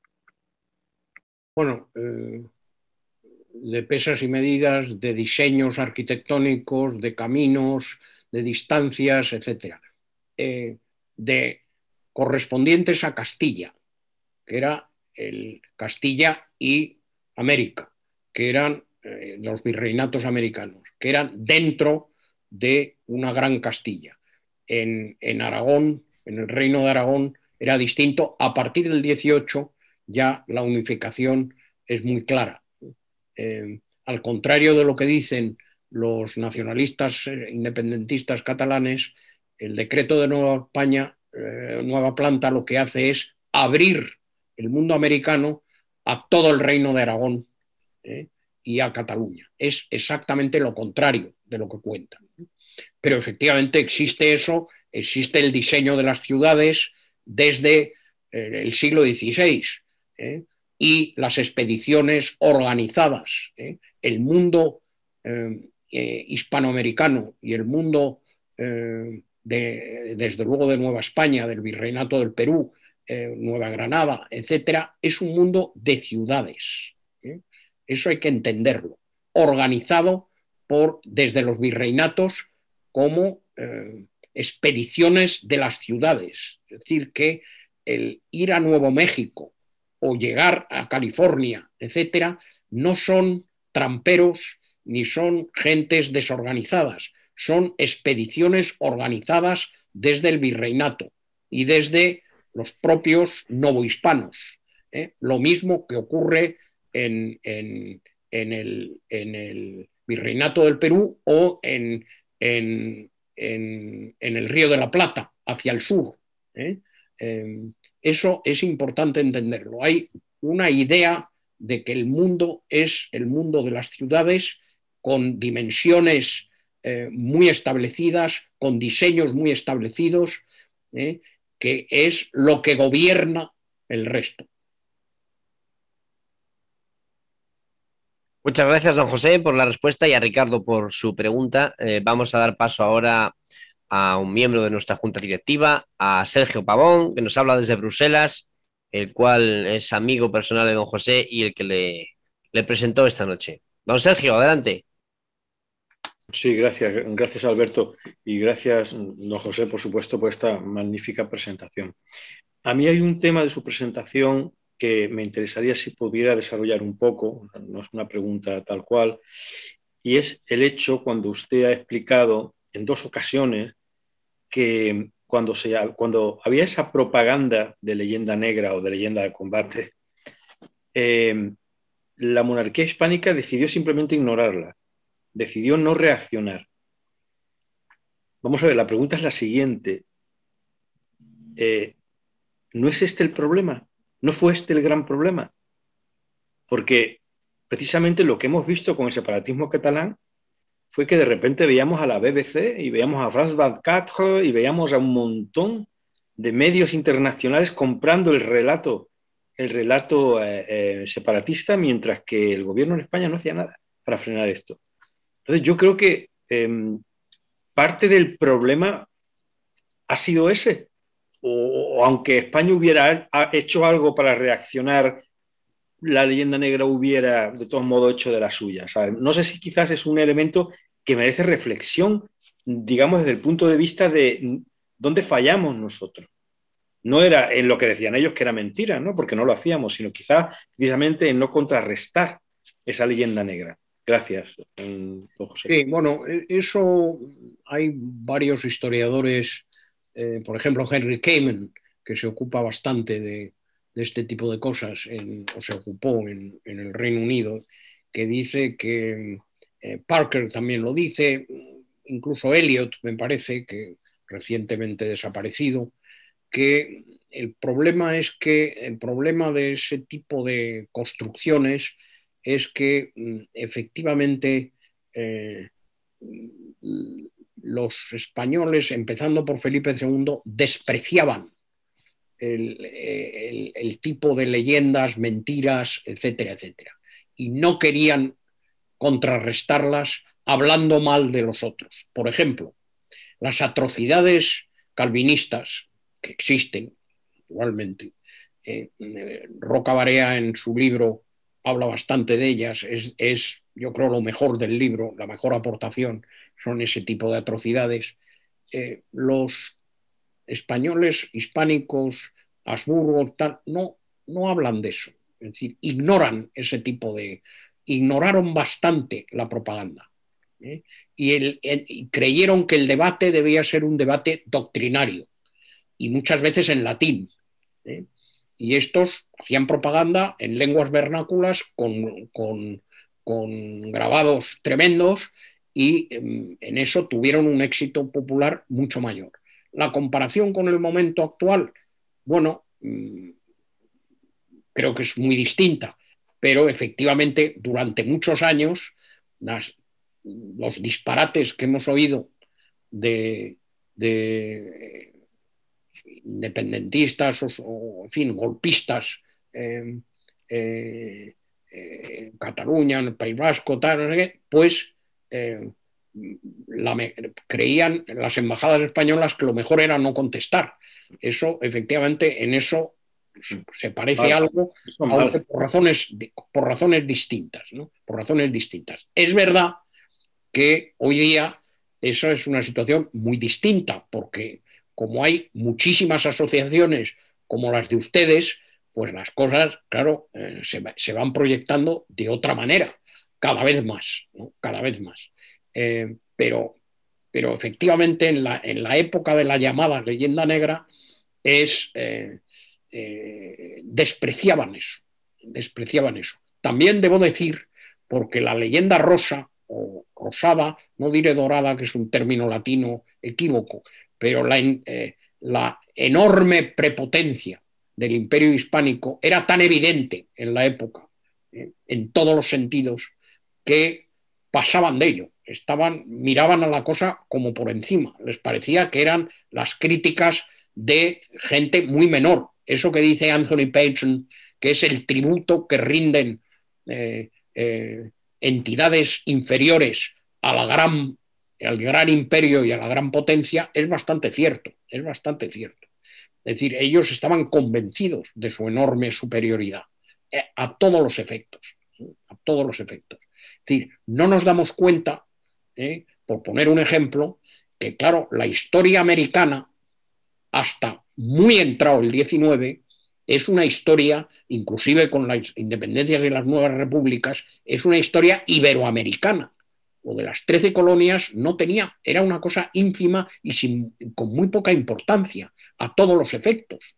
Vuelvo a decir que, quien pueda que vea esa maqueta de lo que era Ciudad de México en 1800 para decir, bueno, esto es, es otra galaxia. Bueno, eso les hacía mirar un poco por encima del hombro eh, lo que estaba en otros sitios.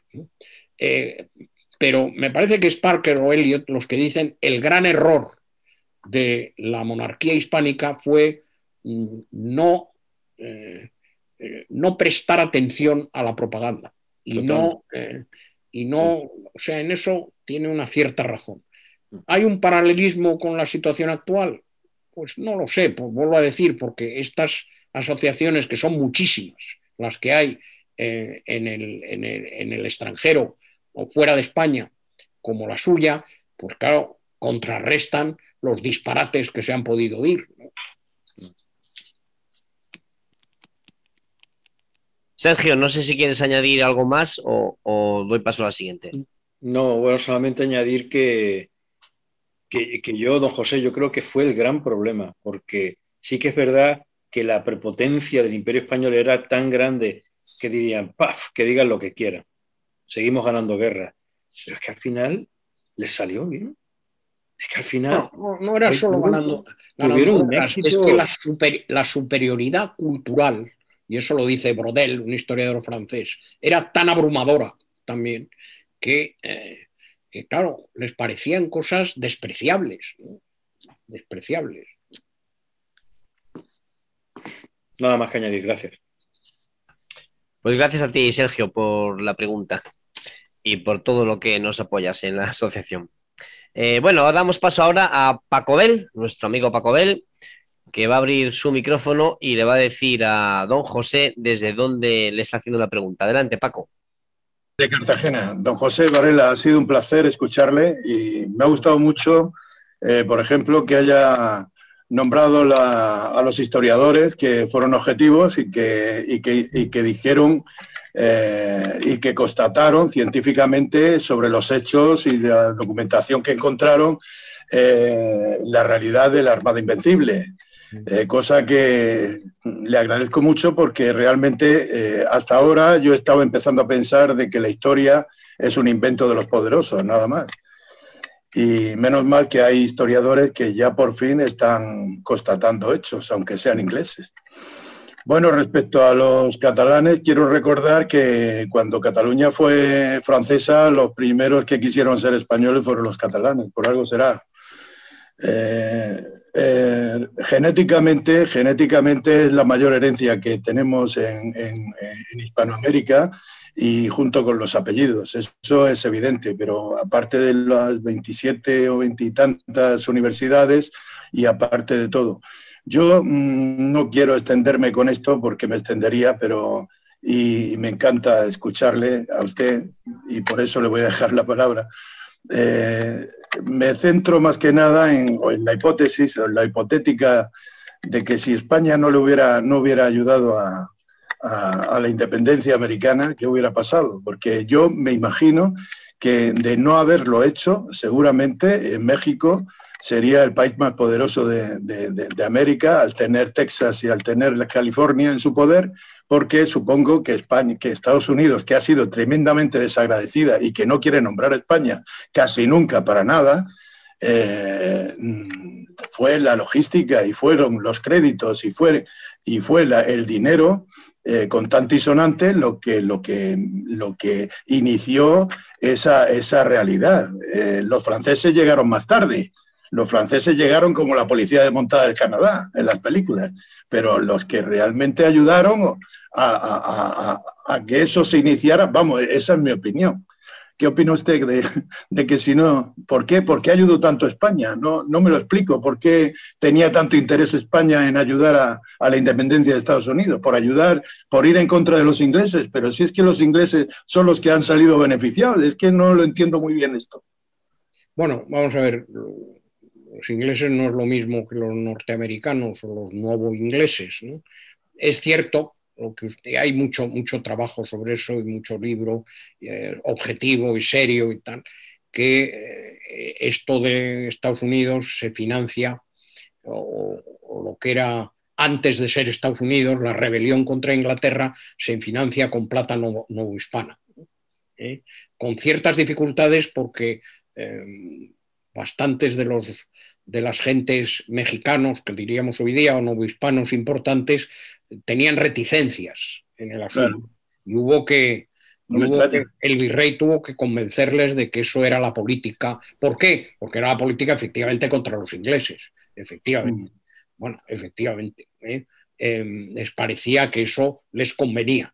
Con dudas, porque dentro de, de la corte de Florida Blanca, de Oranda, de los grandes ministros de Carlos III, tenían dudas y además creían que, bueno, mm, esas colonias eh, americanas, esos sí eran colonias, eh, independientes y unidas, podían ser eh, una amenaza y un peligro para el virreinato de Nuevo México. Eso, eso, esa discusión está, esta gente se da cuenta de eso también. Pero, claro, lo consideraban una cosa muy menor, muy menor y muy controlable. ¿Eh? entre otras razones porque el Mississippi era, estaba controlado, se ve en el mapa que pactan Florida Blanca y Franklin, está completamente controlado por el virreinato novohispano. Y por lo tanto, bueno, y el Golfo de México era un lago virreinal. Entonces están bastante convencidos de que eso es algo controlable, dentro de que ven la amenaza, también ven la amenaza.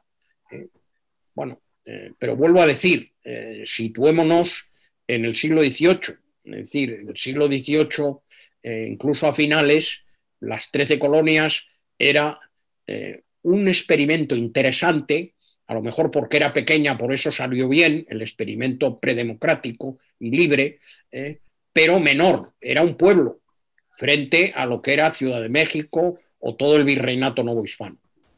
Por lo tanto, bueno, hay que poner las cosas en su contexto. Pues muchas gracias, Paco, por tu pregunta y, a don José, una vez más, por su respuesta. Oscar eh, Iván, adelante con su pregunta. Dígale, por favor, a don José desde dónde nos habla su merced. Eh, ¿Escuchan?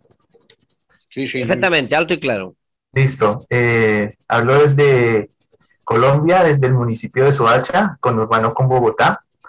Un saludo al expositor que ha hecho muy bien su presentación y lo que voy a pues, preguntar es, eh, digamos, en relación con la leyenda negra, eh, ¿tienen alguna relación con las rebeliones de los caciques indígenas que se resistieron a, la conquista? Pues en el caso inicial con, la, con las guerras que hubo el final del imperio mexica, luego con los incas y después con las otras tribus ya periféricas, como es el caso de, personajes como Anacaona y, y la India Catarina tienen alguna relación también con el genocidio que ahorita pues están diciendo por parte de los indigenistas?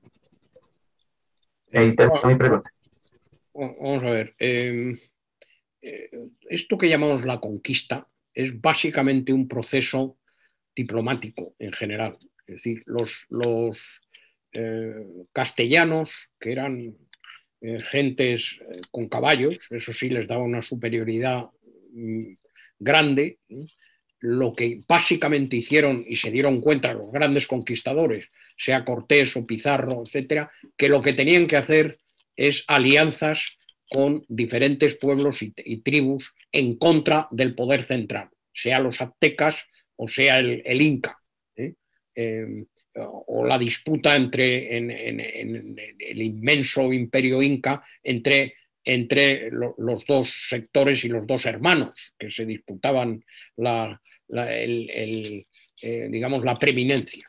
Por lo tanto, es con mucha frecuencia un sistema de alianzas. Es mucho más importante que las batallas y las, eh, en fin, y, y, el proceso bélico. Mucho más importante es ganarse a eh, pueblos que podían ayudarles en someter a, eh, o por lo menos en hacerse preeminentes dentro de esos dos grandes conglomerados, uno el virreinato de Perú, el, imperio incaico y otro el azteca. por lo tanto, son, Cortés es un gran diplomático, es un gran diplomático. por eso esta, esta cosa indigenista de como si todos los pueblos eh, indígenas fueran iguales eh, o fueran uno, eh, no tiene sentido. Si hubiera sido así, esa conquista hubiera sido imposible o ese dominio y establecimiento de virreinatos hubiera sido absolutamente imposible. es una gran operación en que la diplomacia y el ganarse aliados sean tlaxcaltecas o lo que sea, era mucho más importante que eh, las batallas. Bueno, no sé si eso es. Y tiene muy poco que ver con lo que los indigenistas ahora dicen, que es eh, una, una expresión más bien occidental y etnocentrista y que está vista desde un punto de vista occidental, no vista desde las diferentes tribus y naciones indígenas en, lugares muy distintos, muy distantes y, muy variados eh, y muy plurales. Gracias, Oscar, eh, por la pregunta y don José una vez más. Em, nuestro amigo Daniel mm, dice un comentario en el chat que lo voy a leer porque viene muy oportuno. Mm, dice, es más una gesta diplomática aunque es más difícil ilustrarlo narrativamente. efectivamente, fue una gesta, una gesta diplomática. Eh, bueno, damos paso ahora al siguiente preguntante, María Pilar Aira. Por favor, María, abre tu micrófono y realiza tu pregunta. Sí, buenas tardes. Buenas tardes. ¿Desde dónde nos hablas, María? Sí, bueno, yo soy española, pero llevo 24 años viviendo en Chile. Que además don José ha hecho referencia precisamente a los mapuches, a los araucanos que diría Alonso de Ercilla, ¿no? que todavía dan guerra. Así que precisamente hay algunos problemas aquí importantes eh, en el sur de Chile que están provocando precisamente algunos. La vez, en el 17, me parece que fue, o 18, habían volado un repetidor de televisión ahí en el, en el sur. Bueno, pues aquí todavía siguen haciendo de las suyas, así que. Y además ahora en el tema del proceso constituyente de Chile, pues también están interviniendo de forma importante. Eh, bueno, yo también soy muy amiga de Luis Cuervo y de Reyes, que sé que tiene, que son familia suya. Eh, los conozco, los conocí en Chile y además estaba allí en Bruselas con ellos y, la verdad es que les tengo muchísimo aprecio. Eh, y por supuesto a Sergio Pavón, que también es amigo de ellos y mío y que también le tengo muchísimo cariño y que sé que está en, en, este momento. Yo le agradezco muchísimo la presentación, también le haría miles de preguntas porque además yo vivo esto a diario, no solamente en Chile, sino en muchos de los países que visito, ¿no? El tema de la leyenda negra, el tema de la leyenda del dorado, que está muy relacionada, ¿no? Sobre todo tiene mucha relación con el, con digamos, la, visión de España hoy por hoy, ¿no? Sobre todo por, por esa eh, cantidad de empresas españolas que, por ejemplo, están en, en, eh, Hispanoamérica, ¿no? Mm. Y también hay otro tema que me, me parece muy curioso. Primero es por qué seguimos sin reaccionar. Esa es mi pregunta. Y segundo, ¿Por qué hay esa politización de la leyenda negra en el sentido de que yo veo que hay una conexión directa entre, por ejemplo, los partidos de izquierda y la, eh, digamos, eh, el fomento de esta leyenda negra? Y también por qué en la Hispanoamérica hay tan poco, eh, le dan tan poca importancia en los colegios a la historia a, su propia historia. Es decir, normalmente la propia historia siempre empieza cuando termina, eh, digamos, la historia de, Hispanoamérica y empieza la historia de los eh, países ya independientes. Muchas gracias. Bueno, eh, la verdad es que es un poco, primero, la importancia de la historia. eso debía, debía, debíais hacer un, otra exposición y otro debate, que es cómo los hispanoamericanos, iberoamericanos, como se quiera llamar, ven su propia historia mm, como una especie de pecado de origen, eh, eh, en el cual em, eh, miran la situación actual, que no es muy prometedora en muchos lugares, y dicen, bueno, esto es así porque hace 400 o 500 años eh, vinieron los españoles. No lo miran en el 18, ¿eh? donde efectivamente, o en el 16, donde la diferencia con la América del Norte era simplemente abismal a favor del sur o a favor de del, Virreinato de Nueva España o Perú o incluso en la Capitanía General de Chile. Es decir, eh, no, no lo miran así, sino lo miran el final de la película y rebobinan hacia atrás con, eh, de una manera, eh, eh, digamos, muy, muy, muy poco racional en cuanto a, manera de, a, manera, a, la manera de, interpretarlo. bueno, eso efectivamente, la propia historia se cuenta mal es muy importante que esta gente se reconcilie con su propio pasado. Eh, y su propio pasado de 400 años de, ese mundo eh, hispanoamericano es fundamental. Es fundamental. hablamos la misma lengua y es muy importante que se reconcilien con eso. O dicho de otra manera, a mí cuando en México a veces que suelen hacer ese tipo de cosas, hacen eh, esas insinuaciones que a mí me tienen absolutamente sin cuidado sobre cómo los españoles quemaron los pies a Cuauhtémoc o no sé qué, este tipo de cosas, digo, hombre, no debían ustedes hablar mal de sus antepasados, eh, con pies o sin ellos, porque los, digo de los suyos, porque los míos se quedaron en la península. O sea que el problema más bien lo tienen ustedes. Eh, este López Obrador, pues debía de mirarse un poco los apellidos, ¿no? Para darse idea de, dónde está.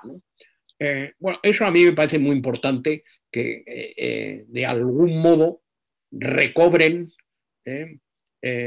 la historia en toda su secuencia, que es eh, desde 1500, pues la verdad es muy diferente eh, en 1670 o en 1780. Eh, y luego, efectivamente, son muy distintas. La Argentina, por escoger un, lugar en que el virreinato está poco disminuido, el virreinato del Río de la Plata, la Argentina de 1930, eh, o treinta y tantos, tenía más teléfonos per cápita que Suecia. Eh, hombre, después de eso algo ha pasado, algo no han hecho del todo bien. Eh, pero claro, no se puede rebobinar hacia atrás de una manera anacrónica y decir, no, el problema viene de que el general Roca era también un genocida. Es decir, me parece que así es muy difícil entender las cosas, muy difícil entenderlas. Eh, sobre todo porque aquí lo que se trata es de explicarnos y de entender, ¿eh? Eh, de exponer, como dicen los franceses, menos que proponer. No, no podemos tomar partido, ni por los malones indígenas que combatían al general Roja, Roca, ni por el general Roca, no sé, no, es que no, son cosas que no tienen sentido, no tienen sentido. Sí conviene que se den cuenta que, la crítica al imperio español en el 18, la crítica de franceses y de ingleses y tal, era que el problema del imperio español era que se habían mezclado con los indígenas, era el mestizaje, y ahí no tenían ellos pelos en la lengua a decir cosas que hoy día consideraríamos eh, tremendas. Criticaban el mestizaje. O sea que eh, depende de los momentos que escojamos. Eh, y efectivamente, como dice María Pilar, eh, hombre, el conocimiento de la historia en su momento y sin anacronismos es muy importante, es muy importante. Y eso eh, hará que estos lugares o países, hombre, se empiecen a tener respeto a sí mismos, nada más. y empezando por nosotros, en España no es tan distinto las tonterías que se oyen sobre historia española, no es tan distinto. Eso ya lo he dicho, el, decreto de nueva planta o la, o la, guerra, eh, en fin, de sucesión del siglo XVIII, creen que es igual que Puigdemont en, en, en 1900, eh, eh, en el año 2000. Bueno, pues eso en el 2014, ese tipo de cosas son como para examinarles la cabeza, ¿no? Tienen las lámparas un poquito mal colocadas, y sobre todo toman partido. Aquí no tomemos, no tomamos partido, debemos entender las cosas, comprenderlas, que no es lo mismo que compartirlas. No hace falta compartir determinadas cosas. Pues mandamos un saludo para María Pilar, para Chile, y, le agradecemos nuevamente a don José esa respuesta e intentaremos seguir su consejo, don José, mm, reconciliarnos con nuestro propio pasado, con nuestra propia historia, tanto los españoles de la, península como nuestros hermanos hispanoamericanos. Doy paso ahora a David, que también tiene levantada la mano, la mano perdón, para que haga su pregunta. Y le informa a don José que quedan tres personas, tres últimas preguntas y ya vamos a, dejar que se vaya a descansar.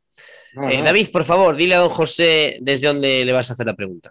Sí, hola, buenas noches. Eh, llamo desde Bruselas, hablo desde Bruselas y quisiera hacer la pregunta siguiente. Es, ¿qué podemos hacer para luchar contra la leyenda negra considerando tres factores que yo creo que son muy importantes? Primero, que la leyenda negra es operativa tanto a nivel nacional e internacional, como vemos en España, como hemos visto con López Obrador y con el presidente de México. El segundo factor es que yo tengo la impresión que nuestras élites, cuando hablo de élites, hablo élites españolas y hispanoamericanas, no, no están en, este, en esta batalla. consideran que no va con ellos. Y por tanto, ni están ni se les espera. Y el tercer factor, que yo creo que es el más importante, es que la leyenda negra es un instrumento utilizado por países occidentales para eh, divide y vencerás. Por tanto, hemos visto cuando hubo el golpe de Estado cómo países históricamente amigos han utilizado de una manera, eh, eh, digamos, muy sutil la leyenda negra contra España.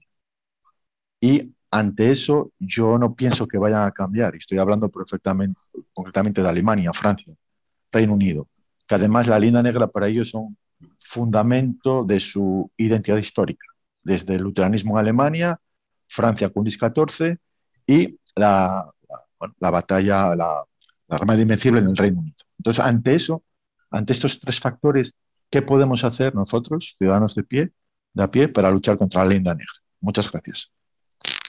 Bueno, eh, para empezar, eh, decir que falta la mitad del libro, ¿no? que es rosa y que es eh, de enorme prestigio contar lo que eran las cosas en el siglo XVI, XVIII, cuando sea. ¿no? Yo he intentado ejemplificarlo, pues eso, el, el 1621 los pilgrims hacen el Thanksgiving cuando en México existían hospitales, universidades, cuando este Oñate había, había cruzado ya la frontera del Río Grande. Bueno, eh, en fin, contar las cosas como son o como eran en cada momento, que es muy distinto. Eh, me parece que eso es muy importante. Em, y luego comprender que hay muchísimos historiadores serios, ¿eh? norteamericanos, ingleses, franceses, alemanes, bueno, que no están en eso y que eh, investigan la realidad y dicen la verdad. Eh, bueno, el libro este de Shaw que he citado, La France Español, pues bueno, por el solo título se ve por dónde va el personaje, eh, que decir, describe la enorme importancia que tenía la cosa española en, en la Francia incluso durante la época de Luis XIV, o por lo menos la primera época de Luis XIV. Bueno, que vuelvo a decir, hablaba español muy bien, ¿eh? cantaba en español. Bueno, eh, esas cosas eh, hay, que, hay que contarlas tranquilamente. Otro tema es que efectivamente en España y también en Hispanoamérica creen que la manera de ser progresista o llamado progresismo o de izquierda es eh, una sarta de tonterías sobre eh, el pasado español e hispanoamericano. Bueno, eso hay que combatirlo con datos, con realidades, con buenos libros, eh, con investigaciones. es la única manera, es la única manera. Y propagar las cosas que realmente son sólidas y buenas y no, y no alimentarse de disparates y generalizaciones. Es todo lo que, es todo lo que puedo decir. ¿no? Ángel, si me permites ya, para quisiera decir lo que, un, último comentario, que viendo uh, cómo la, lo, que le pasó en el 2017 con, con, Cataluña, si esto no es una política de Estado eh, por parte del gobierno español, implicando a, a todos los poderes de, del Estado, va a ser muy difícil hacer frente, o sea, derrotar a la leyenda negra, el relato negro legendario. Y ahí es el gran problema que ves, la falta de compromiso de no solamente de nuestras élites, pero sí también de, los poderes del Estado en la lucha contra la leyenda negra. Gracias. Bueno, que es David, ¿no? Es una pregunta sobre el tema, ¿no? La, misma, la misma idea. Bueno, vamos a ver.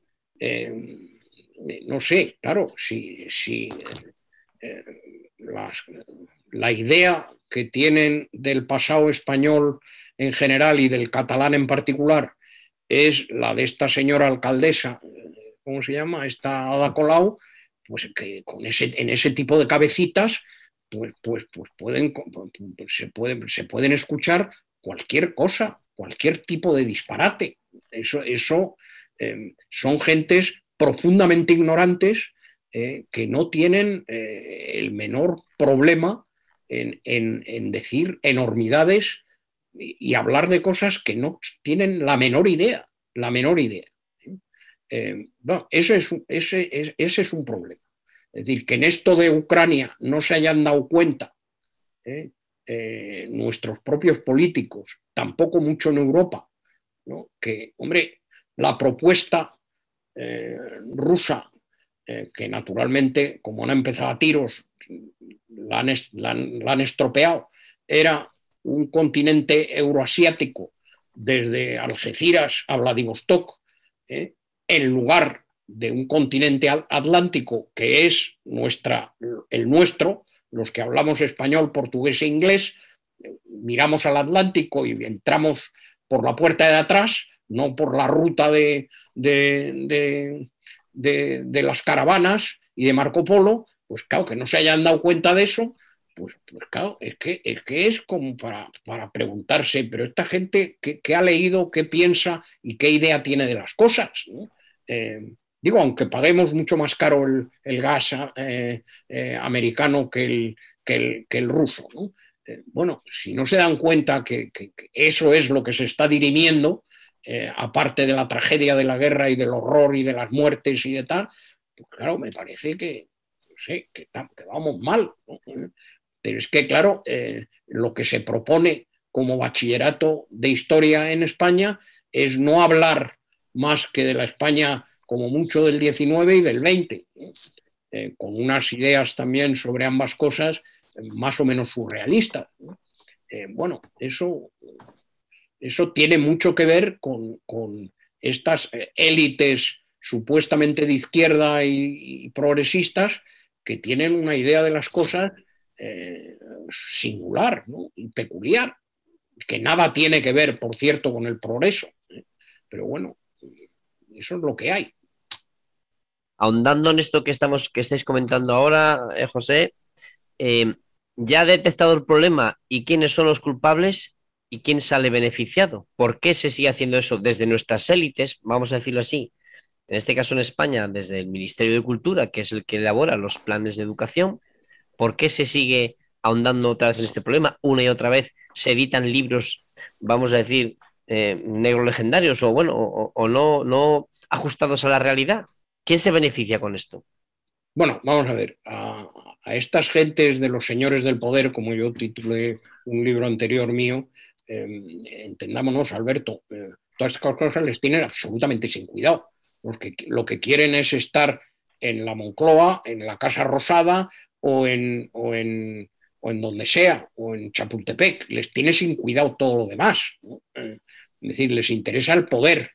Eh, y si hay un, nacionalista que les vota y les mantiene en el poder, aunque sea anti-español, anti-americano, anti lo que sea, pues les parece muy bien. Es que son así, es que estas gentes son así, no, no, no nos confundamos. El López Obrador, mm, eh, cuando habla de pedir perdón y que pidan perdón y esas cosas que son más o menos ridículas y que hasta tienen una gracia lamentable, pues, pues lo hace porque eso le, granjea algún tipo de apoyo en su, en su, en su miserable poder, nada más que por eso, no, no, le demos más vueltas. Aparte de, que, hombre, eso viene alimentado por una gran ignorancia, pero, eso es así. Eh, eh, sí es muy importante, claro, eh, que, que, se tomen en serio la enseñanza de la historia, un bachillerato, etcétera, etcétera. Claro, si eso no se lo toman en serio eh, y no van a hablar de lo que era Roma, no podemos entender el, diseño de las ciudades hispanoamericanas, que viene de ahí, que viene de ahí. Y que el cardo y de cumano y de tal, y cómo, cómo diseñan esas ciudades desde tiempos de Felipe II, pues viene de ahí, claro, si, a los eh, escolares españoles hispanoamericanos no les hablan de Roma, pues me parece que tenemos un problema, claro, efectivamente. Sí, sí, se junta, se junta ese, ese afán de poder con un poco de ignorancia y tenemos lo que tenemos en nuestras élites, tanto aquí en España como en, como en Hispanoamérica.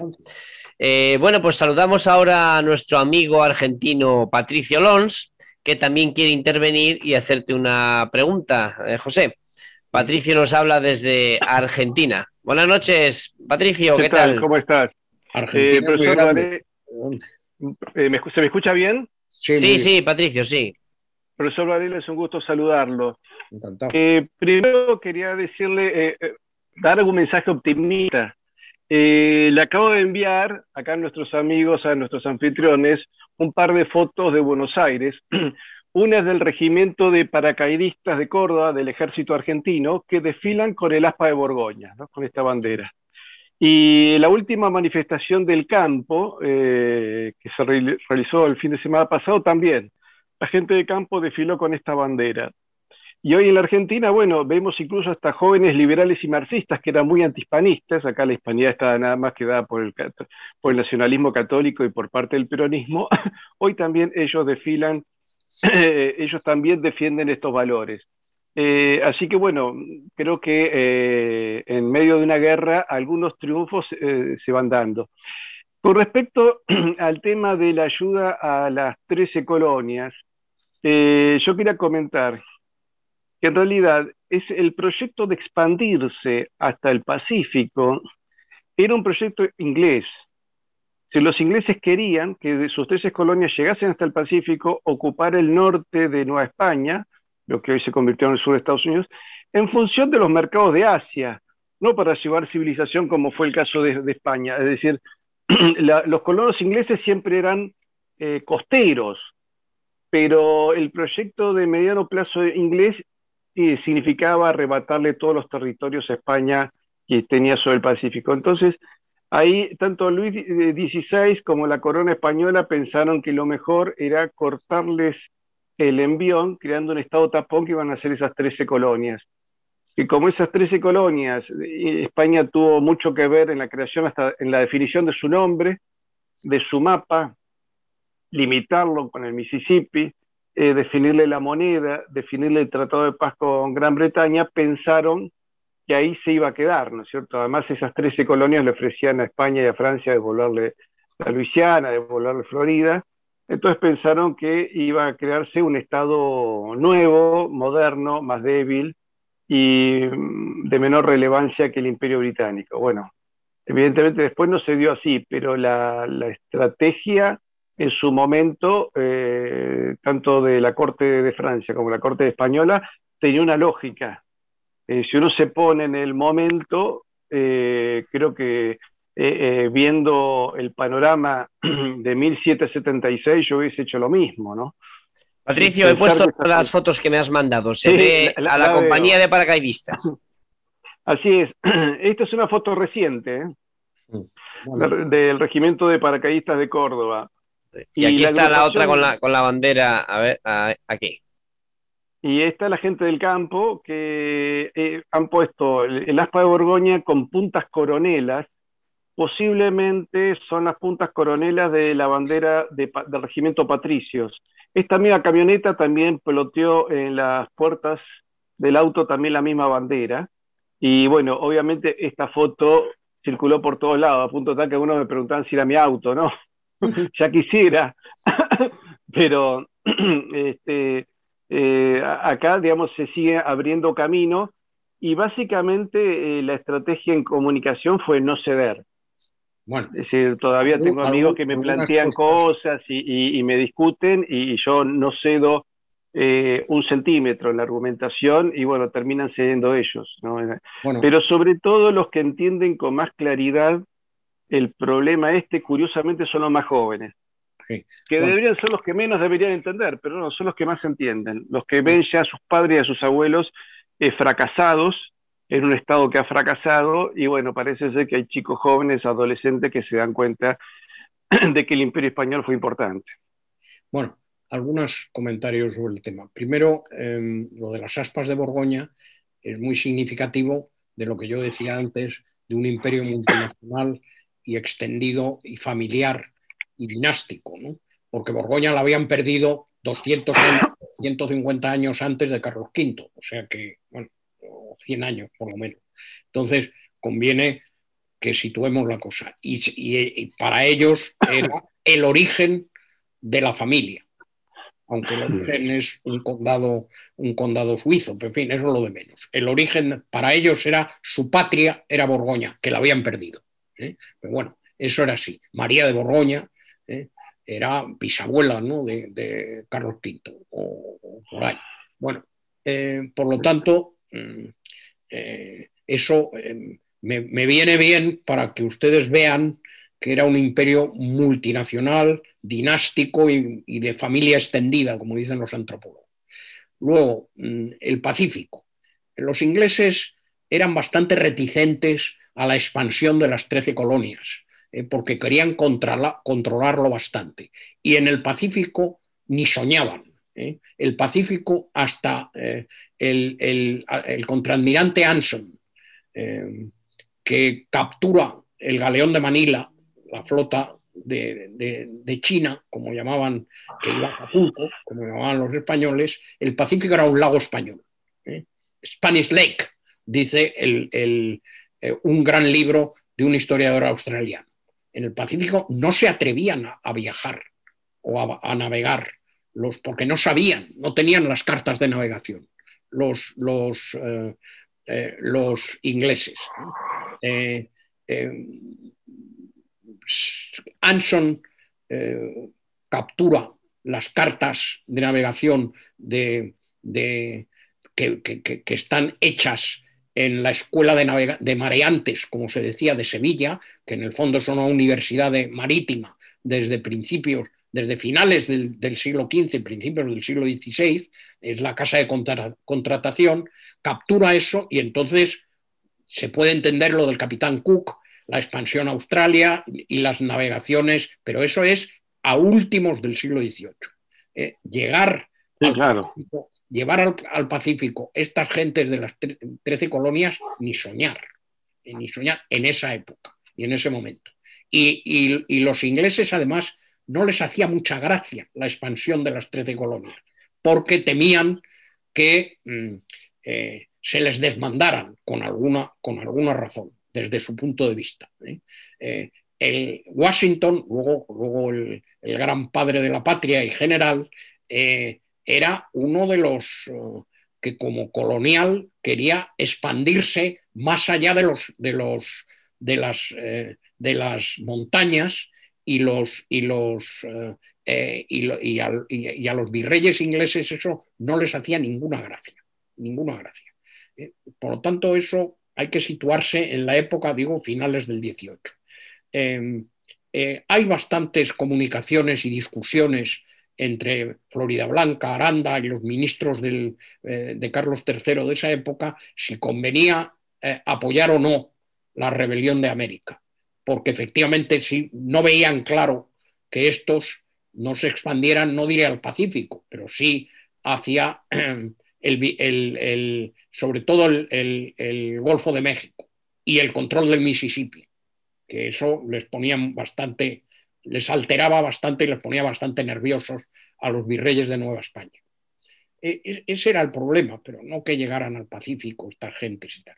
Lo único serio de lo del Pacífico fue en un momento determinado en que intentaron hacer una pinza por el istmo de Panamá ¿eh? y, eh, mm, ahí fracasó una, de las extremidades de esa pinza, eh, entre otras cosas porque Blas de Lezo resistió en, Cartagena de Indias y en toda esa zona, y entonces no salió bien la, operación que era cortar el imperio español por el istmo de Panamá, que era bastante buena idea desde el punto de vista de los, eh, ingleses, eh, pero salió mal la resistencia de este hombre y de, las, eh, de las tropas eh, hispanoamericanas, así en general. Bueno, eso es, es un poco eh, que liberales argentinos por fin entiendan que no todo lo que viene de España es reaccionario y tremendo y tal y no sé qué, a mí me parece esperanzador porque, bueno, van a mirar las cosas de una manera pues más, más inteligente y más interesante, y más interesante bueno, ya el propio Sarmiento en, la crítica que hace al libro de Victoriano Lastarria eh, sobre las dice, hombre, esto, esto de la cosa antiespañola y tal nos vino muy bien para lo, de la independencia, pero no es un discurso muy serio, esto no, es, no era exactamente así, incluso Sarmiento. ¿eh? Eh, en ese momento era, bueno, eso, una batalla, como hemos dicho, de, ideas y de propaganda, pero, pero lo que dice este hombre no es exactamente así. O sea que, que, la, que ahora liberales argentinos que salen de Alberdi y de lo que sea, pues, pues sitúen las cosas en su sitio, a mí me parece interesante. Lo que me parecía tremendo es esto de que el último genocida es el general Roca. Hemos, perdido el oremus, ¿no? Eh, digo, mental, y de, situar las cosas en su sitio. Eh, entonces, lo que usted me cuenta me parece esperanzador, efectivamente, eh, y que se vean estas cosas de una manera distinta y más enriquecedora. Es lo que se me ocurre comentar sobre el tema. Hemos de decirte, eh, José, que efectivamente Patricio es uno de los líderes en Argentina, que tiene un canal de YouTube con miles de seguidores, incluso muchísima, muchísimos de sus seguidores es gente muy joven y está bien informado del tema y, aparte de hacer esa propaganda, esa propaganda hispanista, por todo Internet, pues, pues, pues es un, luchador nato y defensor de, todas nuestras raíces eh, hispanas. Patricio, podemos decir que sí que está reconciliado con su historia perfectamente. Eh, Patricio, no sé si quieres añadir algo más o doy paso a la siguiente pregunta. No, no, fantástico. Muchísimas gracias, profesor. Un placer haberlo conocido. Gracias a ustedes. Gracias, Patricio, por tu intervención. Eh, Ricardo, te toca de nuevo la pregunta y luego ya que se prepare Pedro Van y Daniel Rubín y ya con esas tres acabamos las preguntas, ya no vamos a dar paso a ninguna más porque ya hemos abusado bastante de la confianza de don José. Ricardo, abre tu micrófono, por favor, y haz tu pregunta. Y si no me oyes, porque igual no está... Ah, sí, ahora sí. Sí, te estoy escuchando, estaba comentando por allí. Muy bien, este, adelante, Ricardo. pero, en, fin. Sí, eh, tengo un, un tema muy importante que casi nadie toma y tengo bastantes, pero en fin, ¿qué tiene que ver la religión con que todos podamos discutir o alegar o rezar, mejor dicho, rezar y compartir una misma religión, un mismo idioma? ¿Eso qué nos benefició? Eso es un logro del, de la visión de varias personas, de muchas personas, de cientos de personas o miles de personas que vinieron y, y dicen conquistaron, pero no conquistaron. No conquistaron, simplemente dieron su punto de vista y, por ejemplo, aquí en Hernán Cortés jamás hubiera podido conquistar nada los tlaxcaltecas, los totonacas y etcétera, etcétera, etcétera, se sumaron a, su voluntad, a la voluntad de formar un solo movimiento para derrocar a una nación pequeñita, no era tan grande, es pequeñita, y ahora no las pintan así como han hablado de Andrés Manuel López Obrador, pues él, su abuelo era, era español, y ya después se mezcló, pero es un masón y no han hablado nada de la masonería. Pero es un masón y, esa es la verdad. Entonces, Ricardo, entiendo que, tu pregunta es sobre la masonería. No, mi pregunta es sobre, perdón, perdón, perdón, me quería extender. Mi pregunta es sobre qué tanto beneficio hubo en las misiones en todo en toda América y qué tanto les benefició a los indígenas. Y otra pregunta, son dos. ¿Y ahorita cómo estamos en América? No sé si han notado. Todo el mundo es republicano, bueno, todo, toda América es republicana, pero ¿qué beneficio nos trajo la República? Y, y podamos, espero que podamos podemos o podamos comparar los beneficios que nos trajo. Muchos dicen imperio, yo digo educación, que nos trajo la educación. Muchas gracias, Ricardo. A ver si quiere comentar algo don José de lo que has expuesto. Gracias. bueno, es... depende de en qué, en qué momento se escoja, ¿no?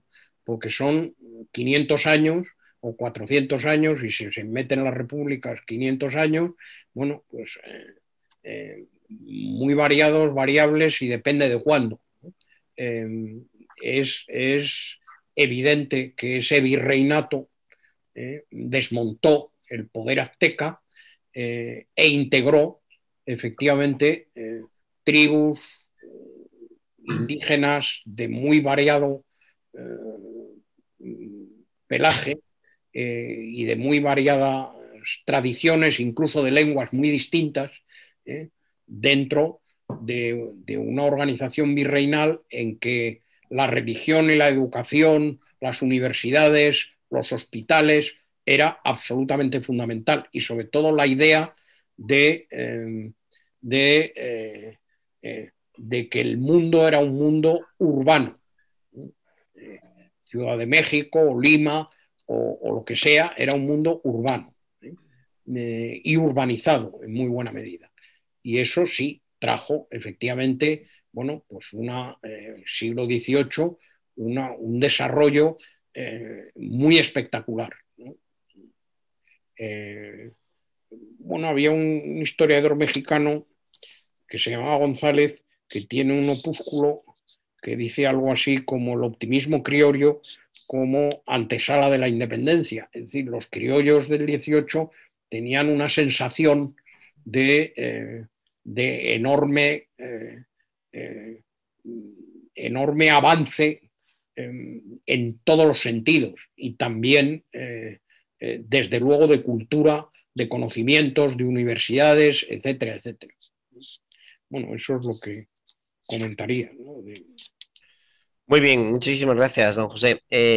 Pedro Van, y que se prepare ya también Daniel Rubín y ya vamos a acabar con estas dos últimas preguntas. Pedro, adelante, dile a don José desde dónde le, hablas, por favor.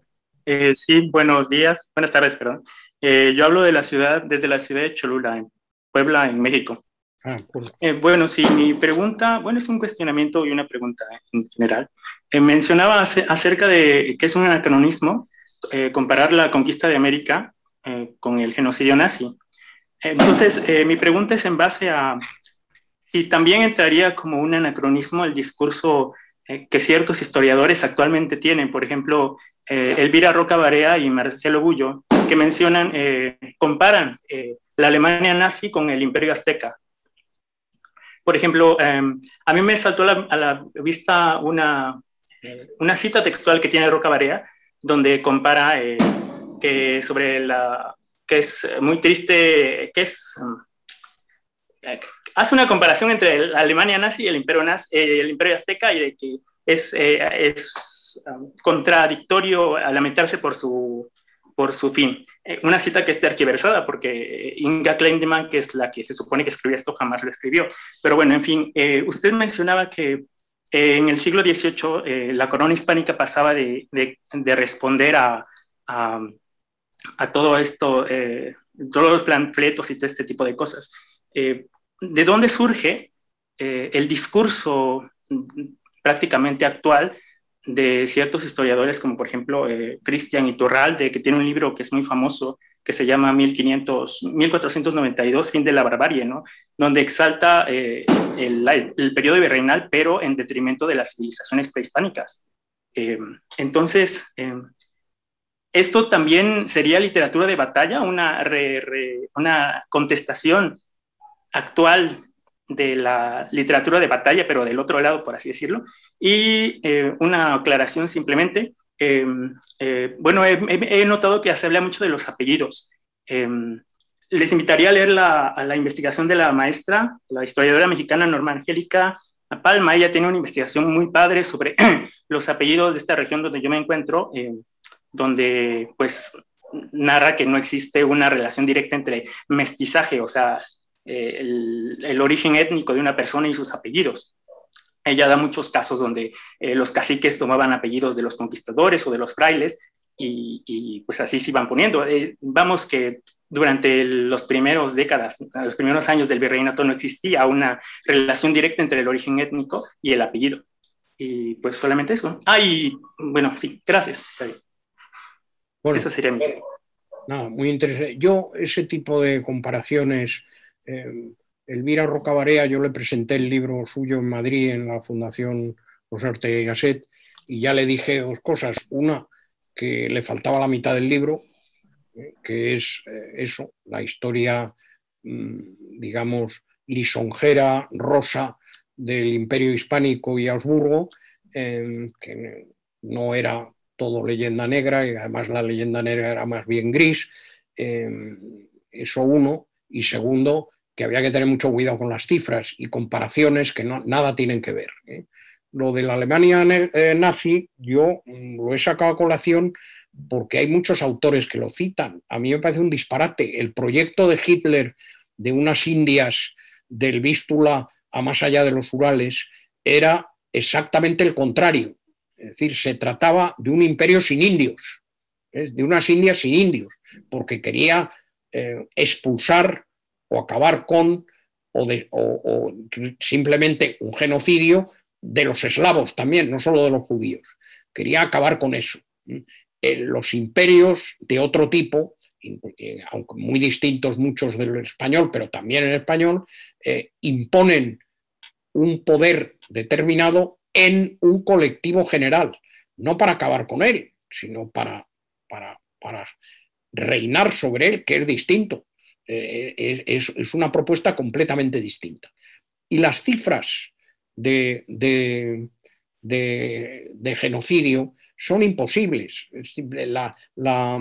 Eh, si uno se pone macabro y estudia las técnicas de asesinato masivo de la época nazi, eh, acabar con 7, 8 millones de judíos, más unos cuantos eslavos, etcétera, etcétera, ponga usted 10, eh, o 12 millones, con técnicas de asesinato masivo muy eh, elaboradas, entrañó muchos problemas logísticos a esos criminales y a los nazis. En el caso del imperio americano, eso era imposible. Los aztecas que tenían sacrificios humanos, ya sabemos que los tenían.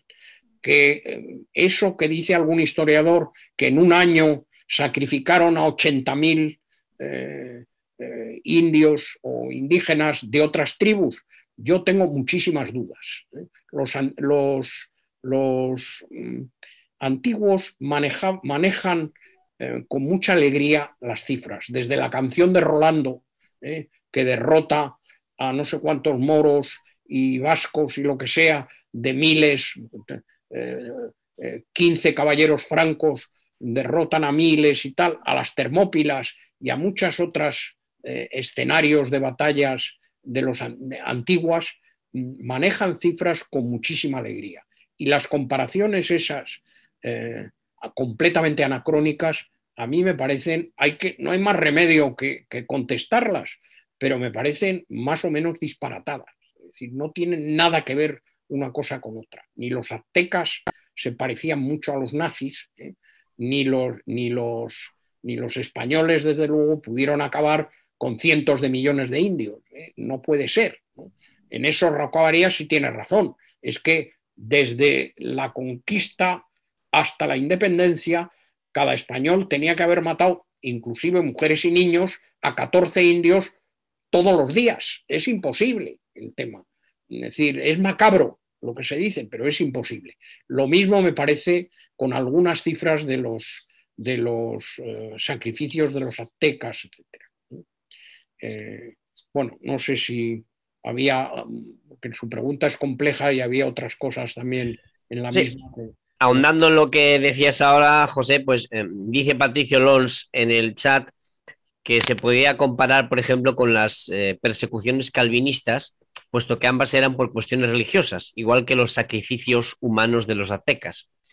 Vamos, si, hubiera que hacer algún tipo de comparación anacrónica, ¿no? No, con el nazismo, como bien has apuntado. Los aztecas no solo era religiosa, era, era complicada, sí, también tenía un elemento religioso, pero parece que era muy complicado, tenía mucho que ver también con determinados rituales que no solo eran religiosos, tenían orígenes antropológicos y tal. Bueno, no sé. Eh, pero de todas maneras, a mí me parece que son comparaciones eh, muy, de, muy, muy, muy, de salidas de pie de banco.